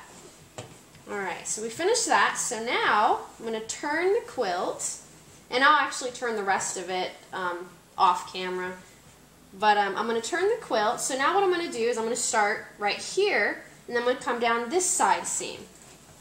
Alright, and it'll be the same like what I just did, how I showed you guys the starting from the beginning. Um, so I'm going to go ahead and do this side seam. And then, once I finish that, I already sewed the two other sides of the quilt, so I just have this one left to do. But once I finish that, then I'll come back and I'll show you guys sewing the, uh, the individual gatherings of your border. So like here, I'll do this one. I'll show that to you guys. So let me go ahead and finish up this last seam, or this last side seam. Okay, so I've finished sewing all around my border on all four sides of the quilt. So now the next step is going to be to sew down all of the seams where the border, the different colors of my border join together. So I'm going to start right here, and I'm going to go ahead and move, remove the safety pins before I start my stitching. This way I don't have to worry about stopping um, when I'm, you know, in the middle of it. So I'm just going to pull out my thread a little bit. Again, I'm just going to start right here. I'm going to backstitch, and then I'm going to go right off the edge of the quilt. I'm not going to bother pulling up my bobbin thread. Alright, so there you go. And these will go relatively quickly since there's not very many of them on the quilt. Um, I think there's maybe, um, I think there's six on the top and bottom, and I think ten on the sides, if I remember correctly. And then all I'll do once I finish is I'll go through and I'll snip off my threads up here. And if there's some in the back, see like right here, you can see a little bit of my um, bobbin thread. So I'll just come through and snip that off too later on. But it's not, I'm not going to do it right now just because I want to get all of these done all at once and then I'll do all of my thread clipping all at once. So, there you go. And before I start, I'm just going to smooth it out, make sure it's laying nice and flat. There you go.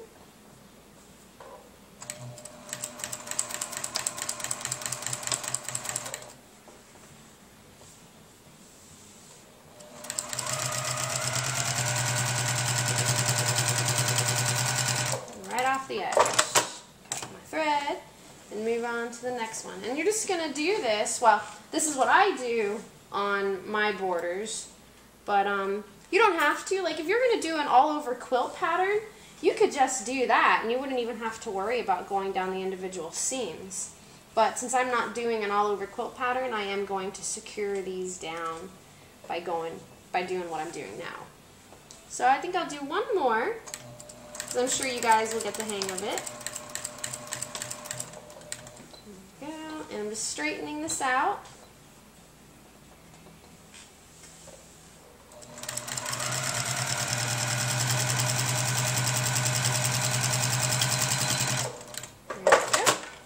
So I'm just going to keep doing this all along the four sides of my quilt. And then once I finish with that, we'll go on to the next step. And we're honestly almost done. It's very exciting. All right.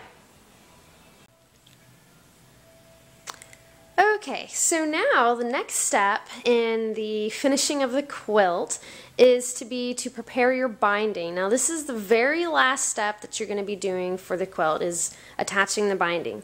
So now there are different, there are a couple of different ways that you can um, go about binding the quilt. So now these are binding, they're quilt binding that I bought at Joann, or no, uh, these I got at Walmart actually. Um, now I bought these two kind because these were the two that they had there and I wanted to show y'all both of them so that you kind of knew what they were like when you opened it. Um, so now we'll start with this one and I'll just zoom in actually instead of bringing it up to the camera. There you go. So this is bias tape wide single fold. Now I will say I have never used store-bought binding. I always make my own. I find that it's more cost-effective. Um, and you can kind of get it, I mean, if you make it yourself, you can use any kind of fabric, any print, any design, any color, anything you want. Whereas if you try and buy it store-bought, you're going to be a lot more limited on colors and design. So now this one, this bias tape wide single fold. Again, I've never used this before, but this is what it looks like. It's uh, about one inch. It's just shy of one inch, maybe seven eighths inch. But you open it and it's folded. It's folded in half. Well, it's it's folded. The two edges are folded in. So like that. And this is what it looks like. So now when you open it, this measures about one and a half inches. Again, I've never used this, but I imagine what you would do is you would sew it onto the quilt. Say this is your quilt. Make sure it's nice and at the edge. Okay, so you would sew it on, um, well, it would be on this side actually. There. So this is the side of your, the edge of your quilt. So you would sew your tape on like this. So you would just stitch right down the side. And then you do that all the way around your quilt. And then once you finish, you're going to flip the quilt over. I'll go ahead and turn it. Because you want this side to be in your machine throat space. And then you would fold this back over onto this side and then you would stitch down this side or hand stitch. I do all of my binding by the way by machine. I don't do any hand stitching. So this is what the binding, this particular kind of binding would look like on your quilt. It's nice and neat. Now again, this is bias binding. Now what that means is if this is your strip of fabric, this is your selvage, and this is your selvage, and these are the two raw edges, bias is this way it goes across the grain versus regular binding goes up and down and you could go side to side if you really want to. I've never done it side to side. I always do my binding up and down. Bias binding is going at an angle. It's going crosswise. And the reason for that is by going crosswise like this, you're getting the fabric more stretchy. This way it's very much more stretchy than up and down. And that comes in handy when you're going around circles. So if you have scalloped edges, and scalloped edges are the ones where they're kind of um, like this. It's kind of like a little ripple, you know what I mean? Um, this is where that comes in handy because it's much easier to to maneuver it around the circle of the quilt. Obviously it doesn't look like it right now, but if you're actually sewing it on, it's much easier if you do it on the bias. So that is this right here.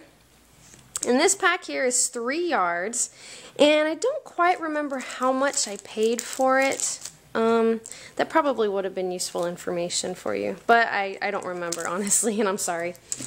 Okay, so the next one, this is double fold bias tape quilt binding. And this is also three yards. Again, I don't remember how much it is. But this is what it looks like.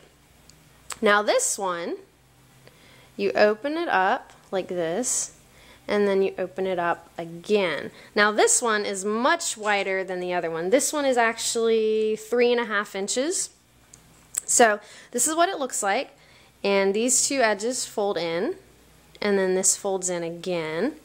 And then same thing, you would do the same process for putting it onto your quilt, except this side here is going to be the side that you sew down first. So we would sew it down like this.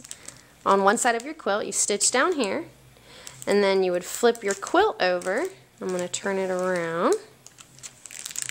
And then you would, well, maybe it's easier if I showed you this way. So you sew down here, and then you're going to pull your binding over, fold it over like that. Actually, that's pretty thin, so, well, looks like that's the only way to do it. Again, I've never used this binding, so I'm not 100% positive, but I imagine you sew it down here, and then you flip it over, if I can do it, and fold it down this way. Now this is very complicated the way I'm doing it and I hope you guys are getting the gist of it but that's the back and then this is what it'll look like in the front. Just a lot better I'm sure. so there's that. Alright, turn it over. But yeah, so this is the other kind of binding that Walmart had available. There we go. But again, I always make my binding um, but if you don't have the time, it can be a little bit um, time.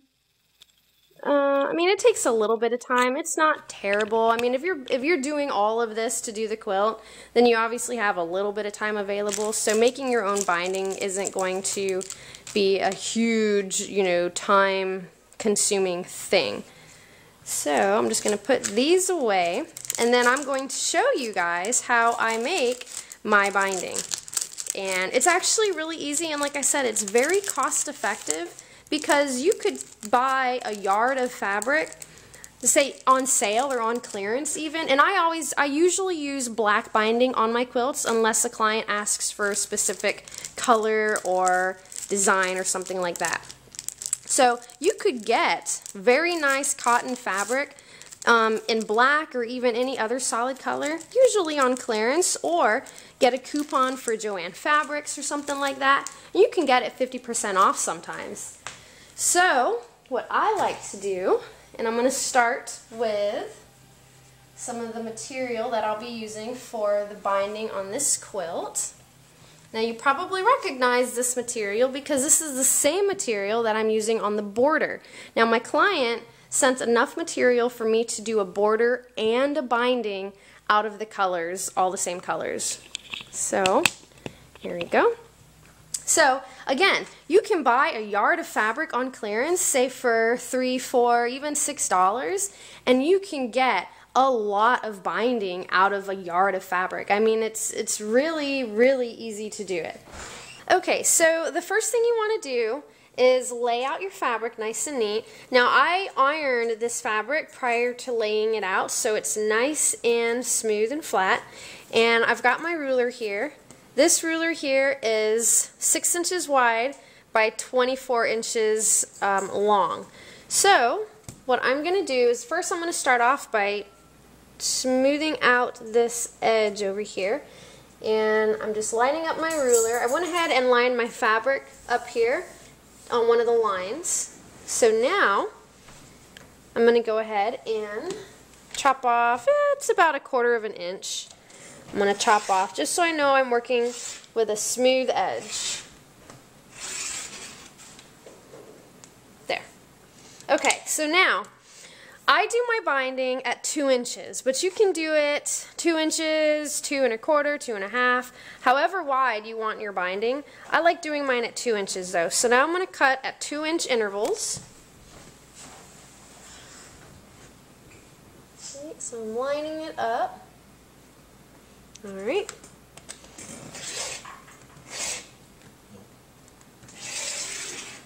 Okay, so there's one strip. Now I'm going to scoot my ruler over another two inches. And I'll cut another strip. And I'm going to do this, I think I'm going to cut probably about four strips, I think ought to be sufficient. So that's two,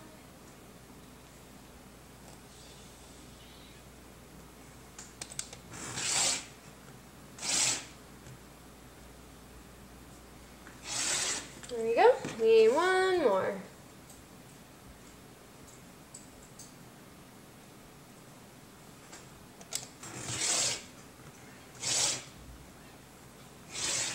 There. Alright. Looks like it didn't make it through all the way on this one. There you go. Alright. So now I can move this fabric aside. And now I'm left with this. So first, before I move the bottom half, I'm going to go ahead and cut off my selvage down here. So, let's see, I'm going to cut off probably about an inch or so. Line that up, and I'm just going to cut through all four of them all at the same time. There. And that's garbage. There. Alright, so now I'm going to actually cut this into smaller strips. Now my border strips are 12 inches long by 3 inches wide. So because I'm using the same colors for my binding that I used in my border, I want them to be different lengths so that none of the seam lines potentially end up meeting up together. So I decided to go ahead and do my binding strips at 7 inches finished. So I need to cut them at 7.5 inches right now. So I'm going to go ahead and measure out seven and a half inches. So I'm lining up my ruler. And I'm going to cut again through all four of them all at the same time. Here we go. Okay, now I need to do another seven and a half.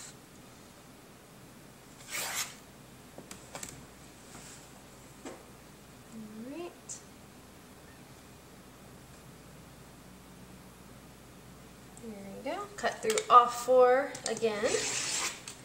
There you go. Okay, so there's that. And now I'm left with these pieces. Now they're not long enough for me to be able to cut off the fold. So what I'm going to do is I'm going to open them up. I'm going to lay them down on my mat. I'm just going to stack them on top of each other. lay, make sure they're nice and stacked neatly. This way I can get some nice clean cuts.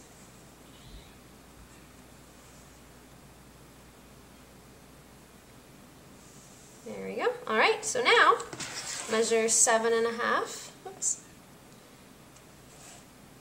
Okay, so let me move that out of the way. So we'll cut right here. There we go, and go right through it. There you go. So this is extra leftover. So now I've got this. Now I just need to stack all of these up and then I'll be done cutting my blue strips. Then I'll do this for the rest of my colors, so I still have my yellow, purple, and gray colors to do. So, there. And you just stack them all up. And then once you get everything cut and ready to go, then we can actually start piecing them together. So I'm going to finish stacking these up and I'm going to go ahead and cut all the rest of my colors and then we can go ahead and move on to the next step.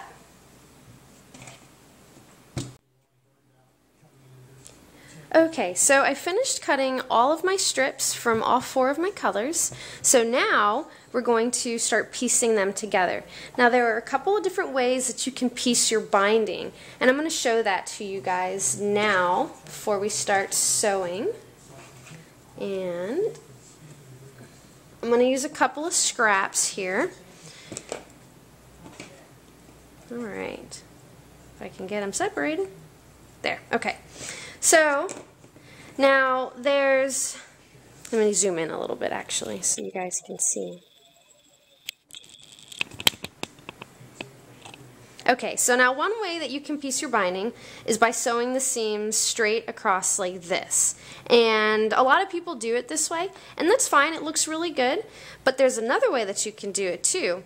And it's it's similar to mitering. To um, if you've ever heard of mitered corners, it's kind of the way that you um, sew the corners of your quilt.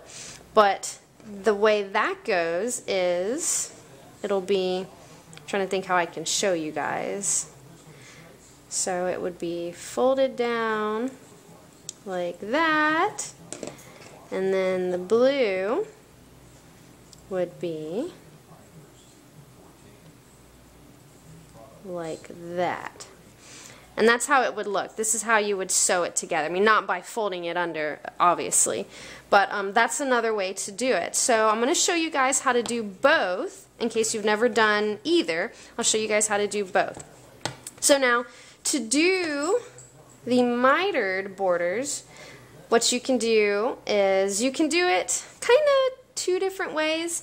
You can do it by lining your two pieces of binding up perfectly square like that, or you can off-center them a little bit like that. I personally prefer to off-center it um, but you can do it either way. Honestly, both ways will give you a good, um, nice looking miter. So then what you want to do is you're going to draw a line from this corner down to this corner where the two fabrics meet. So, I'm going to line that up.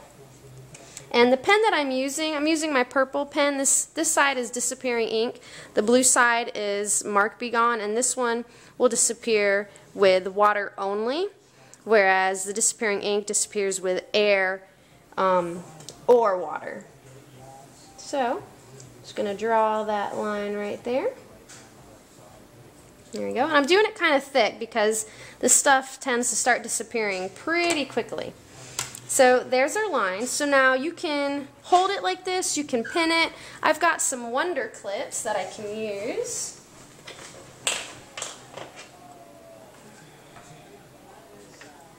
There we go. Alright, so I got my little Wonder Clips here. Slide it under there, there. And over here. Like that. There we go. So I'll move that to the sewing machine. And then the other way you can do it, like I said, is just with the straight seam.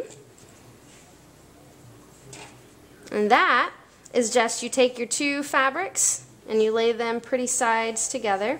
And I didn't mention that with this one, but you want your fabrics to be pretty sides touching, so you want the faces to be touching each other. There, so with this one you just lay it pretty sides together, and then you would just do your normal quarter inch seam right here. So let's go ahead and move to the sewing machine, and I'll show that to you guys. So, a little bit more. There we go. All Okay, so I'll do the straight one first since that's relatively easy. I don't have to remove any clips. Alright, so like I said, you just go a quarter of an inch and you just sew straight down. Alright, so now I'll go ahead and do this one at the same time. And you just want to sew right on your little line right there.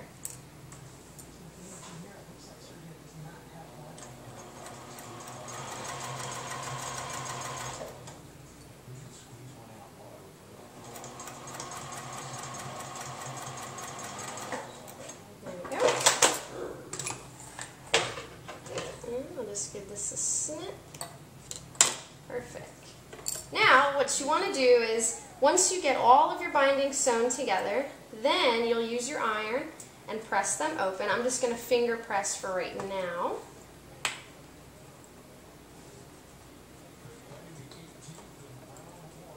There. So, for the first, um, I, I don't know, for the first couple, if you're going to do them at an angle, I recommend not cutting off your excess material until you turn it over, give it a nice finger press to make sure that everything lined up. Because it's easy to get it um, not lined up and then you're going to have to redo it. So let me bring these over here so that you guys can get a good look.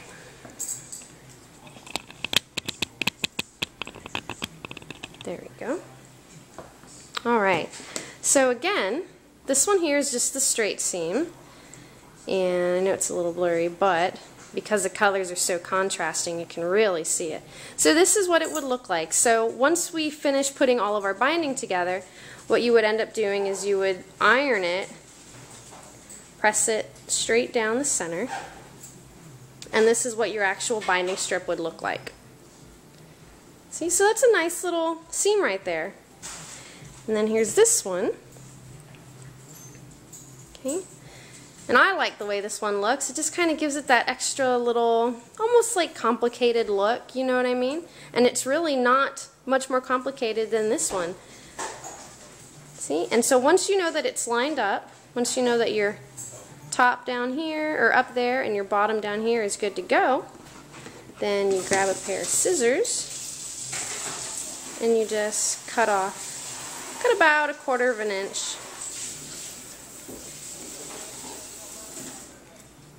There we go. And you can do it with a rotary cutter too. You could lay them all down and go through a couple of them all at the same time. And then, like I said, once you get it all done, you just press it open with your iron. And then you'll have that nice little gathering. And fold it. Because again, this is what you'll do with your binding once it's all completed. You'll end up folding it, and then that's what your binding strip will actually look like on the quilt. So it's really nice. It kind of just adds that little extra bit of detail to it, you know what I mean? And because the seam is off center versus this one, once you sew this or iron it, you're going to have all of those layers of fabric to sew through when you're putting your binding on. So you've got four, five, six layers of fabric that you're going to have to go through because you can't press the seam. I mean, you could cut it and then press it opposite so that you could nest your seams, but that's an awful lot of work. So when you're sewing your binding on, you're going to have to go through six layers of fabric by having a seam like this. Versus this one, we're only going to have to go through four layers of fabric. So it's two less layers to go through. See? So the kind of seams that I'm going to be doing is I'm going to be using this on my binding instead of the straight seam just because, like I said, it adds that little bit of um, detail to it. So I'm going to go ahead and start piecing some of these together. Now I don't draw lines on all of mine Um, but if you're first starting out, if this is your first time doing it, I definitely recommend you draw your line so that you can make sure it stays um, pretty accurate. So I'm going to go ahead and put my binding in the order that I want them.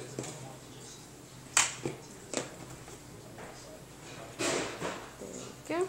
All right. Make sure you guys can still see. Yep. Okay. Now usually, like I said, I usually do my binding um, in solid black.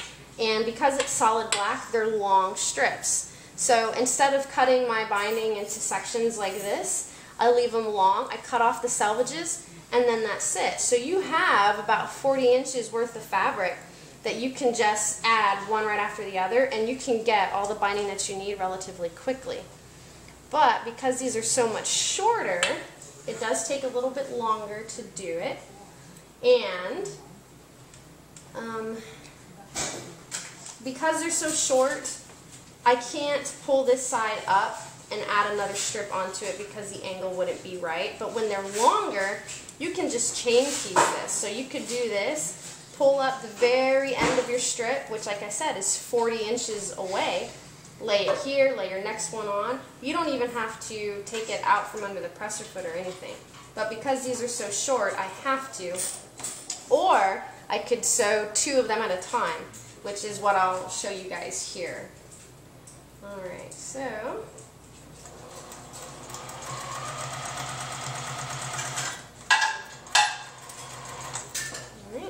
So I'm going to take the same colors and I'm going to sew a second strip. And then what I can do is once these get, you know, a good length, I can just sew them together.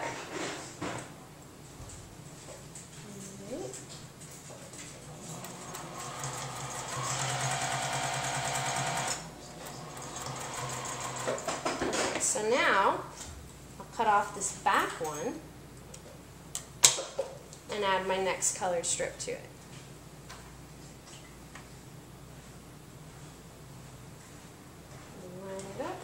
And like I said, if this is your first time, I definitely recommend either using pins or drawing your lines so that you make sure you get a nice, good seam. There we go. Well, once you get the hang of it, you'll be able to do it like I'm doing. See? And I hope you guys can see. But I didn't draw my line, and it's still a very nice seam right there. So, and then this is what I'll keep doing till I have enough binding to go all the way around my quilt, plus hmm, you want like a foot extra, just so that you can make sure um, you have enough to join your two ends of your binding at the very end.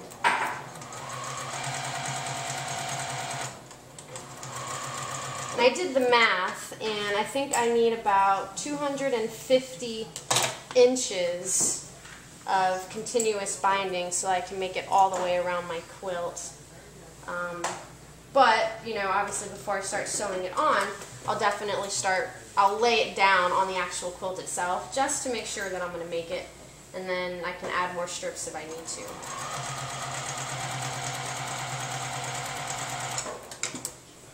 Alright. So, like I said, that's pretty much it. So I'm going to keep doing this until I get enough binding together. And then once I have it all together, then I'll go ahead and show you guys the next step, which will be to iron it, um, cut off all these little dog ears, iron it nice and flat, and then actually iron it in half. So, yeah, all right. Okay, so I've got all of my binding put together. And now I'm ready to move on to the next step, which is actually ironing all of the seams down in one direction.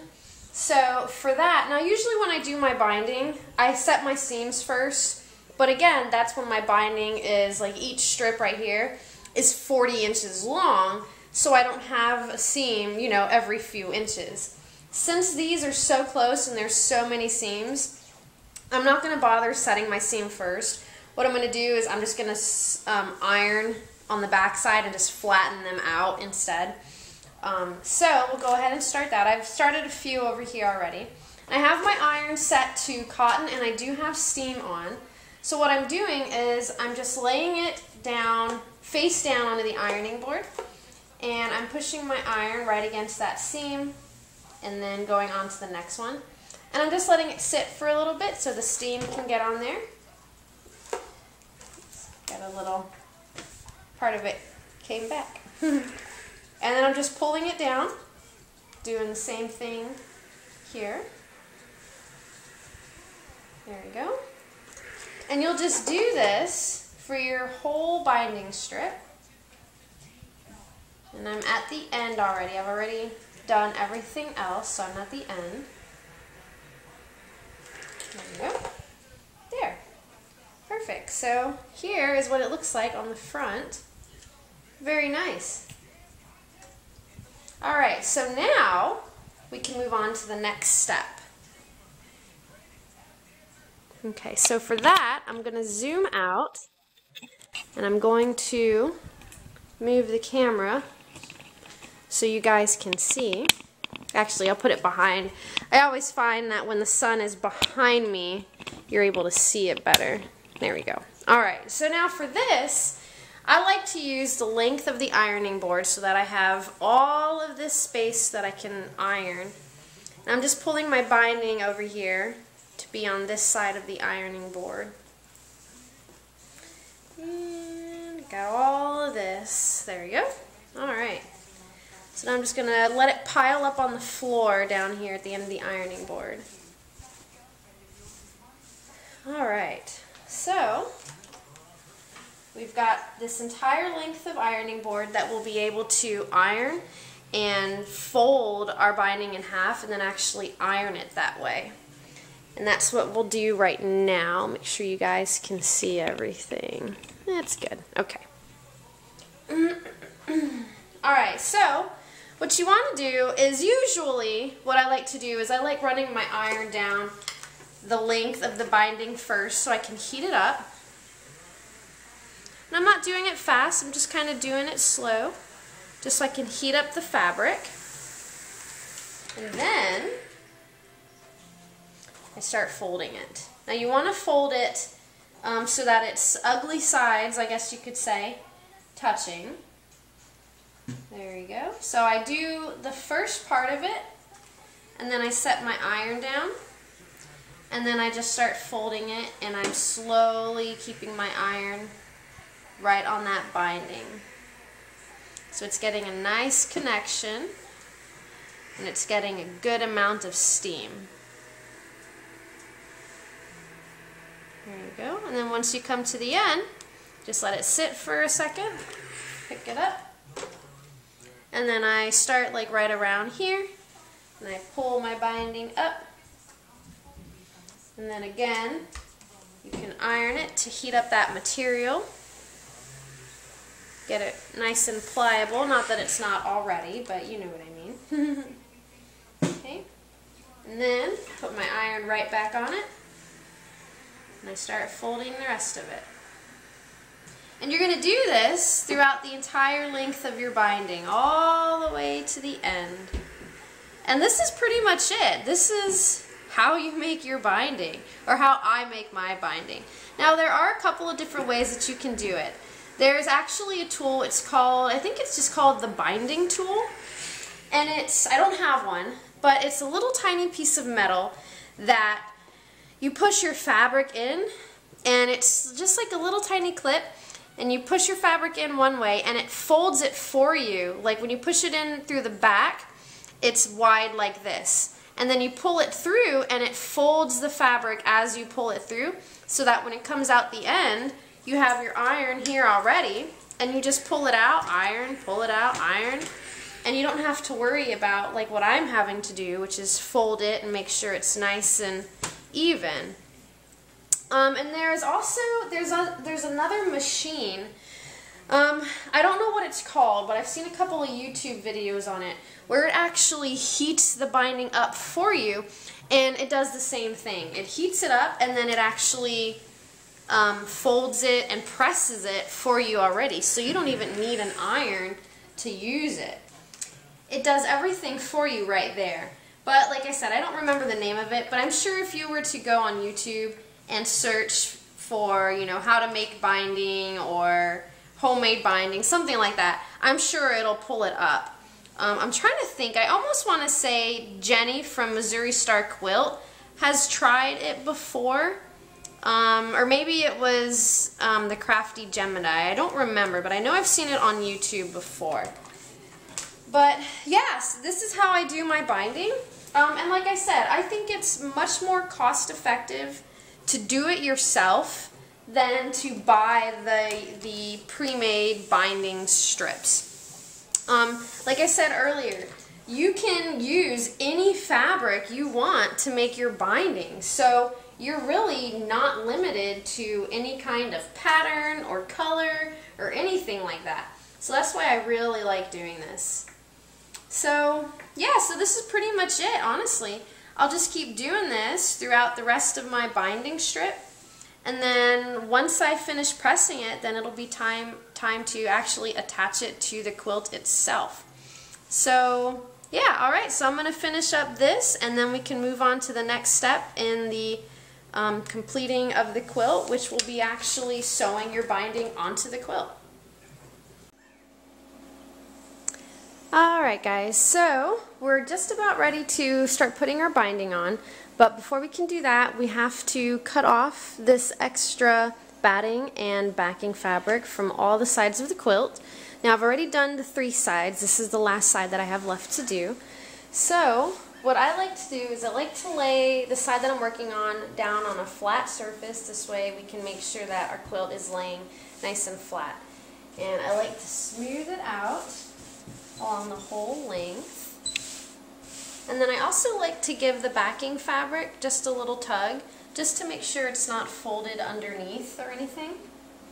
And do that along the whole length. There you go. Now this is also where I will go in and I'll trim off the, um, the little extra threads from when I sewed these seam lines. So you just go in and snip those off. There you go. Alright, and then once it's nice and smooth, then you can use either a pair of scissors or even a rotary cutter and just cut. You want to cut flush along with your border. Or if you don't have a border, you would cut flush along with your blocks. So I'm going to start in this corner over here. And I pretty much have my blade right against that border. I'm not cutting into the border, but I have it right against that border.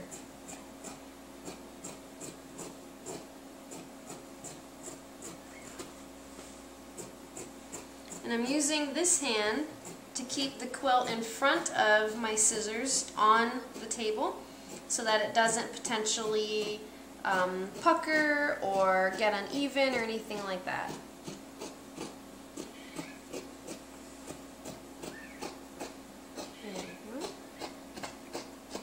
And doing this, you also get to get rid of all these little extra um, little threads from your border which I find quite annoying, but there's nothing you can do to get away from that. So now what I like to do is right now, my border, these strips here are each 12 inches. So to keep it from flapping around, I'm going to put a pin right in the middle of each of these, just so I don't have to worry about my batting getting pulled out or my backing fabric potentially getting folded under or anything like that.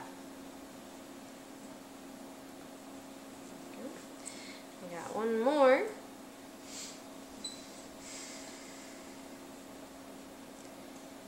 There, alright. So now, I just have to move my quilt up a little bit so that I can continue trimming off the extra batting. And when you're doing this, just give a quick peek underneath to make sure your quilt hasn't folded on itself. And um, that'll, that'll make sure that you don't accidentally cut into your quilt while you're cutting off the extra batting and backing fabric. There. So, now I'm just going to smooth it out. And again, I'm just going to give my backing fabric a little tug. Alright, perfect.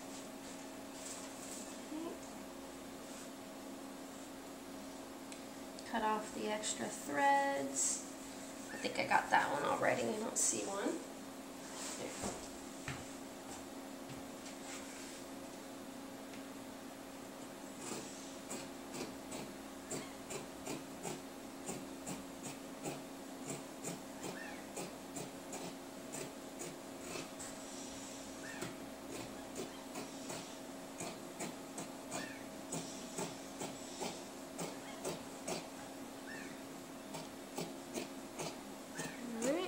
to the end.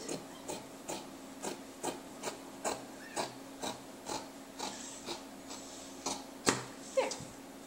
Alright, so we'll set that aside for now. I'm going to go ahead and put my safety pins in.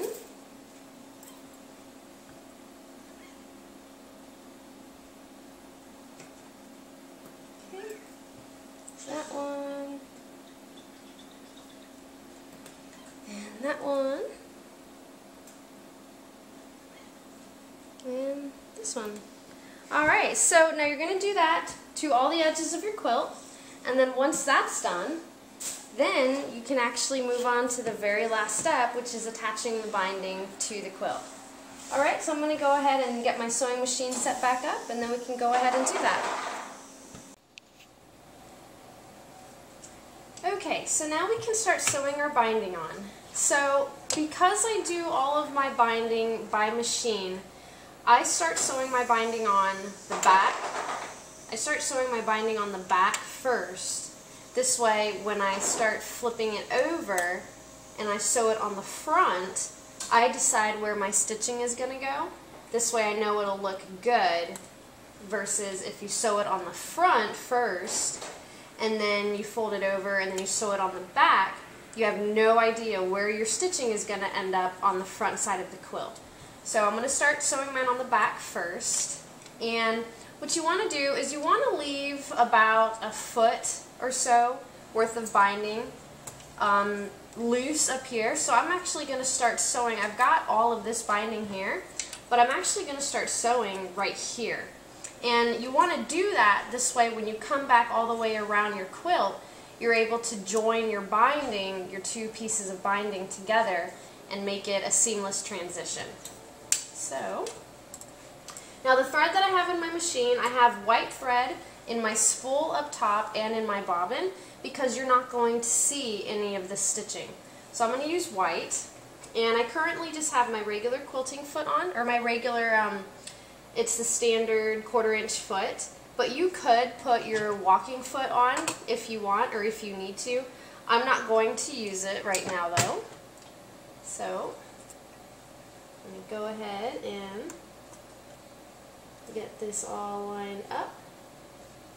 And you're just going to sew along the edge like normal. You just want all of your layers to be lined up together and you're just going to sew down like you're doing a normal quarter inch seam. And you want to make sure you do a locking stitch in the beginning. Alright, so I'm going to start sewing. I'm going to do a couple of stitches and then I'm going to back stitch.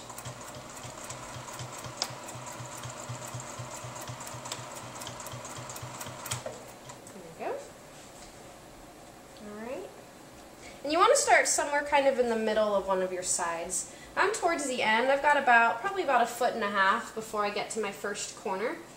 Um, but if you start like right at a corner, that's not a good idea because then you're going to have to try and do your mitered corner and that's going to be very difficult.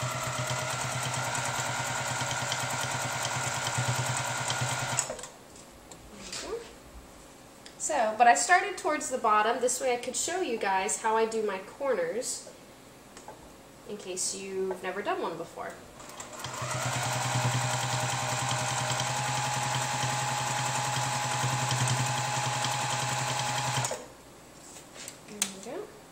So I'm coming up to my corner here. I'm going to go ahead and take out my safety pin, but I will put a little wonder clip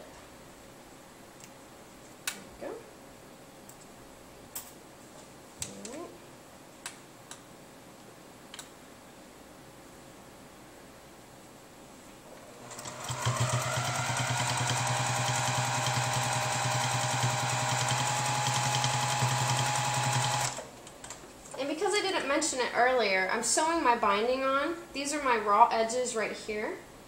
Let me open that up. This is my raw edge, so this side here is my nice finished edge. You want to start sewing your raw edge down first because what's going to happen is once you get this stitch down, you're actually going to be flipping this around to the other side, so your raw edges are going to be encased. Alright, so we've come, we're about three inches from the bottom, or from my corner.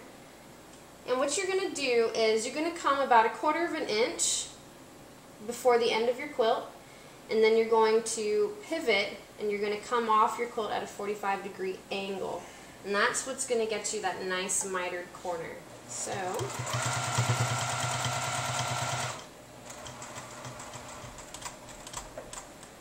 right there. So you're just going to pick it up, give it a little turn, and you just want to turn it so that when you keep going forward, your needle is going to come right off the corner of the fabric. So, there you go. And then you can actually pull this out and away, because what you're going to do now is you're actually going to bend your binding so that you can get the nice um, miter. So what you want to do is you want to, this is how the binding was, you want to fold it up this way, and that stitching right there is going to keep it right where it needs to be. So you fold it like this, and it makes a nice continuous line between my backing fabric off into my binding here. So you do that, and then you're going to fold it back down. And what you want to do is you want to line up this fold right here with the edge of your quilt. So I hope you guys can see that. See? And I'll show you guys one more time. So this is how your binding is. What you want to do is you want to fold it up and then just kind of hold it there with your fingers and you'll see if this is lined up then you're doing good so far. so that's lined up so now you're just going to keep your finger right here and then you're going to pull the binding back down and you just want to fold it so that it has a nice fold on this side of the quilt. Okay, so you can look at that. That looks nice. Everything looks beautiful. And once you get that, then you're going to put your quilt back under your needle. I'm going to tuck those threads in there. And it's alright to have those threads um, hanging out like that. They're going to be encased in the binding anyway, so don't worry about that. Pull that out the back. There we go. Alright, so now, let's do a couple of stitches so that you can get readjusted. There we go. Okay, and then you just line your binding up like normal. There we go. Alright, and then you just keep going down the side.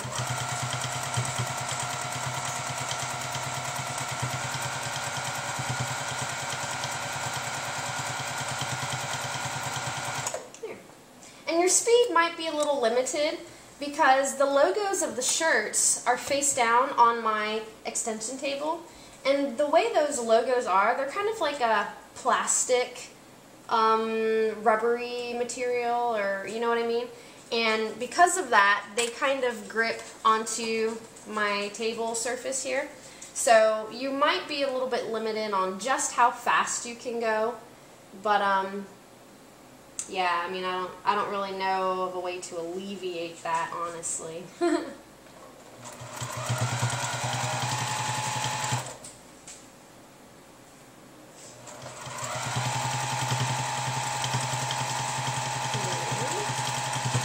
so, I'm just going to keep sewing around all the sides of my quilt just like how you saw. I'm going to do all of my corners the exact same way. And um, if you've never done a mitered corner before, there are tons of videos out there showing how to do it. Um, I learned how to do my corners by watching other people's YouTube videos, so um, definitely check them out. Um, some of the ones that I recommend is some of the videos from the Missouri Star Quilt Company. Um, Jenny Doan has all the tutorial videos out there, and she's done a couple showing how to do mitered corners. Also check out the Crafty Gemini. She has a bunch of videos out there too showing how to do mitered corners. Um, I'm trying to think who else. Um, you could see Leah Day, it's L-E-A-H space D-A-Y. She might have a video showing how to do mitered corners. I know she does a lot of free motion quilting, but I don't know if she has one out there showing how to do mitered corners. But definitely check her out anyways, just because, like I said, she does a bunch of videos on free motion quilting, which would come in handy. So, like I said, I'm just going to keep going down the side of this quilt here, and then I'm going to finish up the other three sides. And what I'll do is when I get to the end, I'll come back and show you guys how I join my two binding strips. Okay guys, so I'm just about to come to the end of my binding where finally both ends meet. So what I'm going to do is I'm going to take a couple of more stitches and then I'm going to go ahead and lock in or do a locking stitch. So I'm not going to go very far in, just maybe about four inches or so. That's about good. Alright, so now I'm going to go ahead and do a locking stitch. We go. And I'm going to cut my thread. Alright, so here is this end, and this is all my binding, so I had, uh, I think I had about actually three extra feet, um, which is good. I'd rather have too much than not enough. So here's one end, and here's the other end. So I left probably about an 8-inch gap in there, and you want to leave yourself enough space so that you can actually join your two pieces of binding. Now, there are a bunch of different ways to do this, honestly. Um, and really no one way is right or better than the other. Um, so I'll just show you guys a couple of different ways that I've seen. Now, one way is where you would just do a straight stitch. So what you would do is you would figure out, I'm going to put my presser foot down to hold that, but you would pull both ends of your binding kind of tight to figure out where they're going to actually join. So mine would join right here. So what I could do is I could cut it about a quarter inch um, where it's tight right here against the backing fabric. And I know I'm not doing a good job of explaining it, but I would cut it a quarter inch up, cut it straight across, and then what you would do is you would open I'll do it right here. So let's pretend this here is the cut that I just did. And let's pretend this is the cut that I just did. So once you cut it and you have it measured out, you would open your two pieces of binding like this. And then you would go ahead and sew a quarter inch seam right here. And then your two pieces of binding would then be together. And it's obviously it's difficult to do it because they're not actually sewn together. But that's what they would look like and then it would just fold over like normal. So your two pieces of binding would be, you know, like that, but a lot better looking. okay, so that's one way, and it would be a straight seam. So instead of these, these are not straight seams, they're off at an angle. If I was to do that, I would have one straight seam here in my binding. I don't want to do that, so I'm not going to be doing that one today. Now there is another one that you can do where, let me open this up, what I would do is I would cut this right here and then I would actually fold over this yellow piece so that I have a nice finished edge right here. And then obviously this purple piece wouldn't be here. But it would be folded over so it would be yellow right there. And it would be finished. And then what I would do is I would insert this remaining piece of my binding you would just insert it like this, and then you would cut it off, eh, maybe like an inch or two in, inside of this yellow right here. So you would put it inside like this, and again, this purple piece is in here. So it would look a little bit like that. Obviously, it's not perfect right now. But you would insert it like that, and then you would just finish stitching down right here, and then that's it. You wouldn't have to go in and do any additional stitching or anything because once you fold this over, it's going to be tight enough that you're not going to be able to get anything in here. Um, so that's another way, and that's actually probably the way that I'll do it today. And then the other option is, and I don't know, let's see, the other option would be to continue the seams that I have here by laying them the way we did when we were joining them in the first place. So you would lay it like this, and then you would go ahead and you would sew from this corner down to this corner, cut off your extra, and then the piece of binding would open back up and it would look just like these seams right here. I mean, you would just, you, you would literally act like you're adding another strip to your binding to make it longer. So you would just go like this, stitch down here, cut off the extra, and then pop it open and it would look like this, just like that. And then you would just continue sewing down the edge. So, like I said, I'm going to go ahead oops, and do the way, the, the one where you just insert this part of your binding inside here and go like that. So that's how I'm going to do it today. So, but what you want to do first, if you want to figure out where on this length do you want to do your join. So I think I'm going to do my join a little bit down here so I can get away from the seams. So if I did it right about here, I think that would be pretty good, honestly. And honestly, I could just cut off this purple and do it right here at the yellow, and then I wouldn't have to worry about it. So let's go ahead and do that. Let me get my long scissors. There you go. Alright, so I'm just going to cut right along this stitch length here, or this stitching that I did when I connected my two pieces of binding. There we go. So there's that. Okay. So now what you want to do is you want to make sure you fold this under because if I did it like this, this is a raw edge right here on my yellow. It's going to start fraying like this. It's going to start having, you know, stringies and all sorts of craziness hanging off. So to do that, I'm trying to make sure you guys can still see. So all I'm going to do is I'm just going to fold this down and I might actually end up taking it over to the iron but for the purposes of this right now I'm just going to finger press it and I did, it's probably about maybe 3 eighths of an inch pressed down. There we go.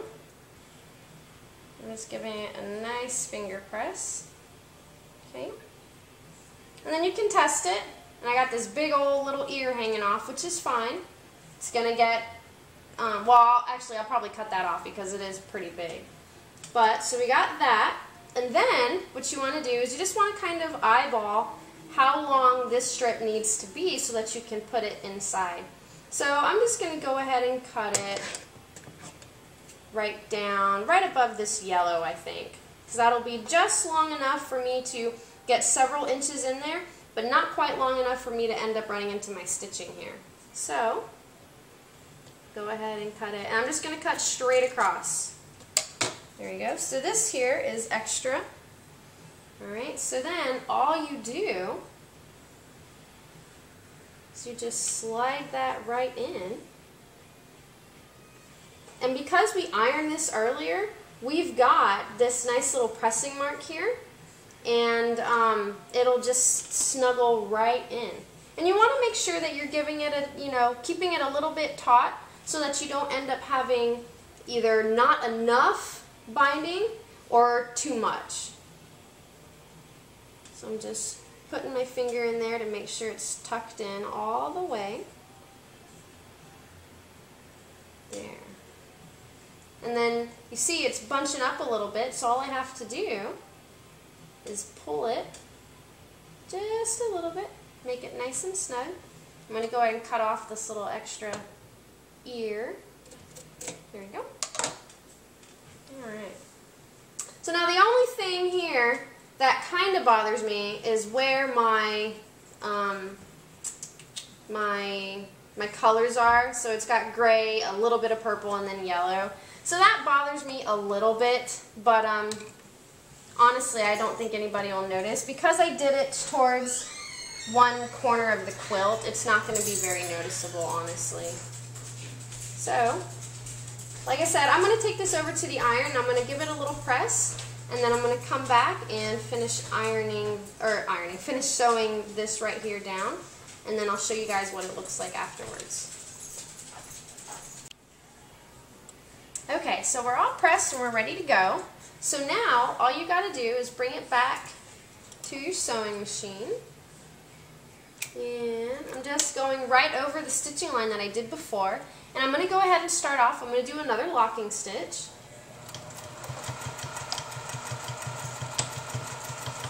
There you go. Alright, so I'll go ahead and remove my little clip that was holding everything down.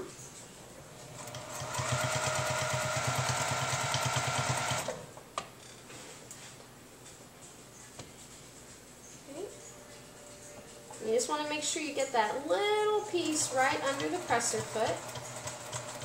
And then you'll be able to just keep right on going. Everything else is nice and lined up.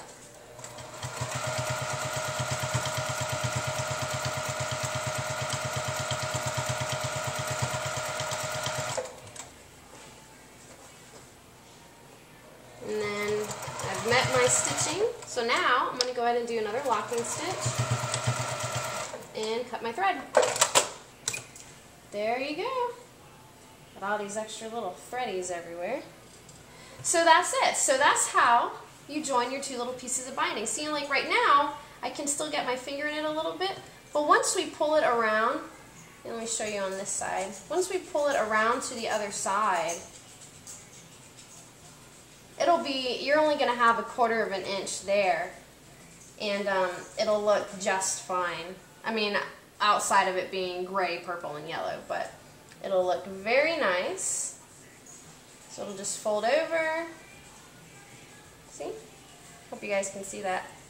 So now, what we're going to do is now I'm going to flip my quilt around and I'm going to actually start showing you guys how to sew it down on the other side. So let me go ahead and flip everything around. Okay, so I've got the quilt all turned around and ready to start sewing the binding on to the front side.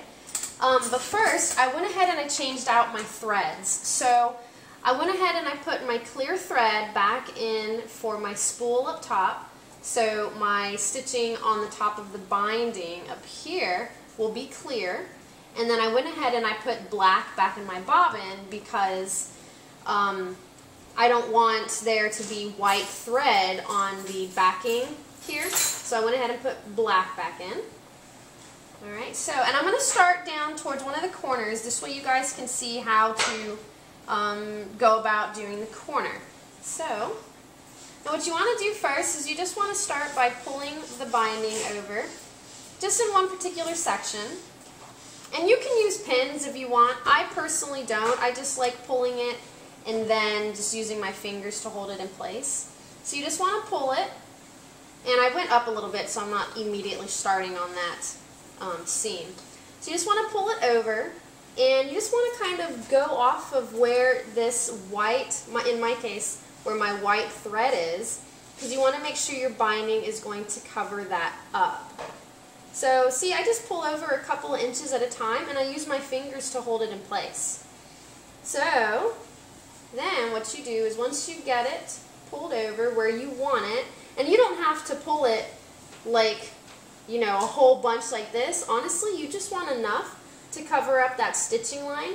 And ideally, your needle is going to be going through the binding and right into that stitching line so that on the back side, it'll be going essentially in the ditch between your binding and your backing fabric. That's, that's what you're really aiming for or what I like to aim for. So, I'm going to realign that. Here we go.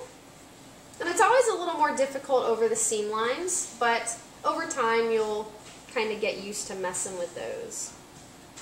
So, I'm putting my binding or my presser foot, right there on the edge of my binding. Now we're going to go ahead and start. I'm going to start with a locking stitch. So we'll take a couple of stitches and we'll back stitch. There we go. So now we can move our fingers. There. So now, while that's nice and secured, I'm just going to go ahead and work my way down and pull over my binding for a couple of inches down. There we go. And just hold that down and then off you go.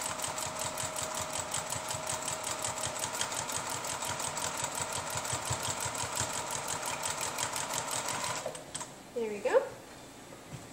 Alright, so like I said, I started towards the edge or towards the bottom of one of the corners. This way I could show you guys how to um, sew down the corners.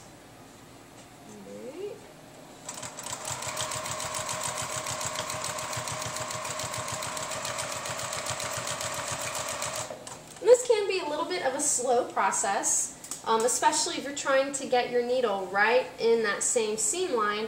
Can be a little bit slow. That's why I'm not going, you know, um, pedal to the metal here.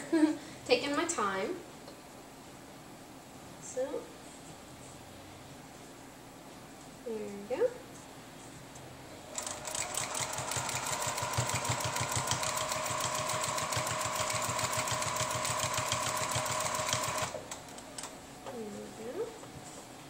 Okay, so we're coming up to the corner. So now what you can do is you can grab all of these little threads here and give them a snip kind of keep them out of your way. Kind of have like a nice little clean working space there. Okay? Alright. So, now I'm going to go a few, I'm going to think I'm going to go like one more inch or two. And then I'm going to stop and show you guys what I like to do. There we go. Okay, so now there's a couple of different ways you can do the corner. Um, so now you could fold over this edge of the binding and you could come straight down like this and then fold up the bottom edge. Let me grab a clip here. These little clips really come in handy. So you could fold that down and then fold up the bottom edge. And what you want to do is you just kind of want to keep your finger right there and then fold up the bottom. And what that does is it'll give you a nice little mitered corner right here. So you can do it that way, or you could fold up the bottom first. Now I've I had done this, I tried this mm, a little while back I think, and I found it so much easier um, for me to get the presser foot over top of all of this bulk if I do the bottom side first instead of the side first. So I'm going to go ahead and put one more clip here because I do have a seam right here. So one more right there and push this one in just a little bit. Alright, so I folded up the bottom side first, okay? So then you're going to do the same thing with this side. Fold it right on over. I'm just using my finger to settle everything down inside there. So now we'll put another clip here. There. Okay, so now, I mean obviously that popped back open, but because I did the bottom side first, my presser foot is already going to be on top right here.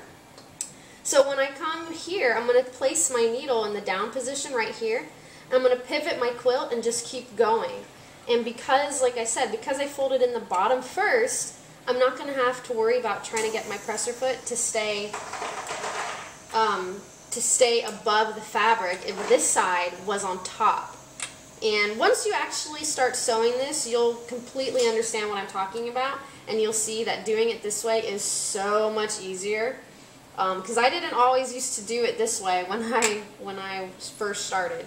So I definitely love this way, and I always do it this way now. So go ahead and keep going down. And as you get closer towards the end, you just want to slow down just a bit. Keep your finger there. There, so now it's right under the presser foot.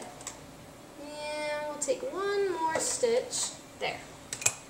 So now we'll pivot.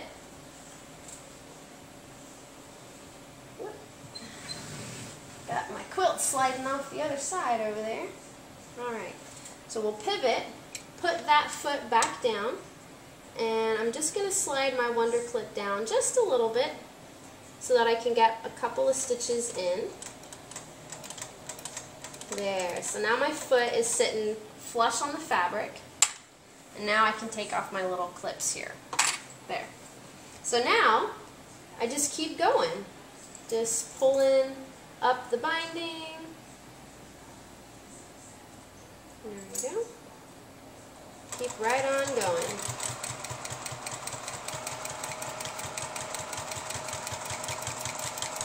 Okay, and let me pull this over so I can show it to you guys. So now we have enough that I can show you guys. Actually, let me get the camera so I can show y'all close up what it looks like now. Okay, so here's the edge that we just finished sewing. And again, it's difficult to see the actual stitching because I use that clear thread, but you can see it's maybe about an eighth of an inch into the binding right there, and that's all that you need. And so here's the back. See, and you can just see my thread line right in that backing fabric. And that's why I use the black thread in my bobbin instead of white because you would have been able to see that white thread like a lighthouse in the night. You know what I mean? I mean, it would have been very obvious that it was there. And this is where I started, I think, yeah. A little bit. Oh, actually, that's just a thread. But, so that's what it looks like. Let me show you guys the corner. So look at how nice that looks. Very nice. Here's the back. Look at that. It's a beautiful quarter. Very nice. Alright, so that's, I mean, that's pretty much it, honestly. You just keep making your way all the way around the quilt. And once you get back to over here where we started, that's it. You're done. The whole thing is done. So I'm going to go ahead and keep sewing on my binding. And it doesn't take very long, honestly. I mean, sewing it to the front takes longer than sewing it to the back because I'm, I'm trying to get my needle right in that stitching line. But you can see it's right in there, which is perfect. That's exactly what I want. So I'm going to keep finishing this up, and then once I finish sewing my binding completely on, I'll come back and show you guys the completed quilt. Alright everybody, so I have completed the quilt. All the binding is sewn on and I don't have video footage of it completed, but I do have a couple of pictures, so I'll go ahead and show that to you guys here at the end of the video. But that's pretty much everything you need to know to get your quilt all put together from putting the sandwich together all the way through finishing the binding. So yeah, um, if you have any questions or comments, definitely leave them in the comment section below. I do answer all the questions that I get, and I usually respond to comments. Um, also, check me out on Facebook. I do have a Facebook page if you've not already seen it.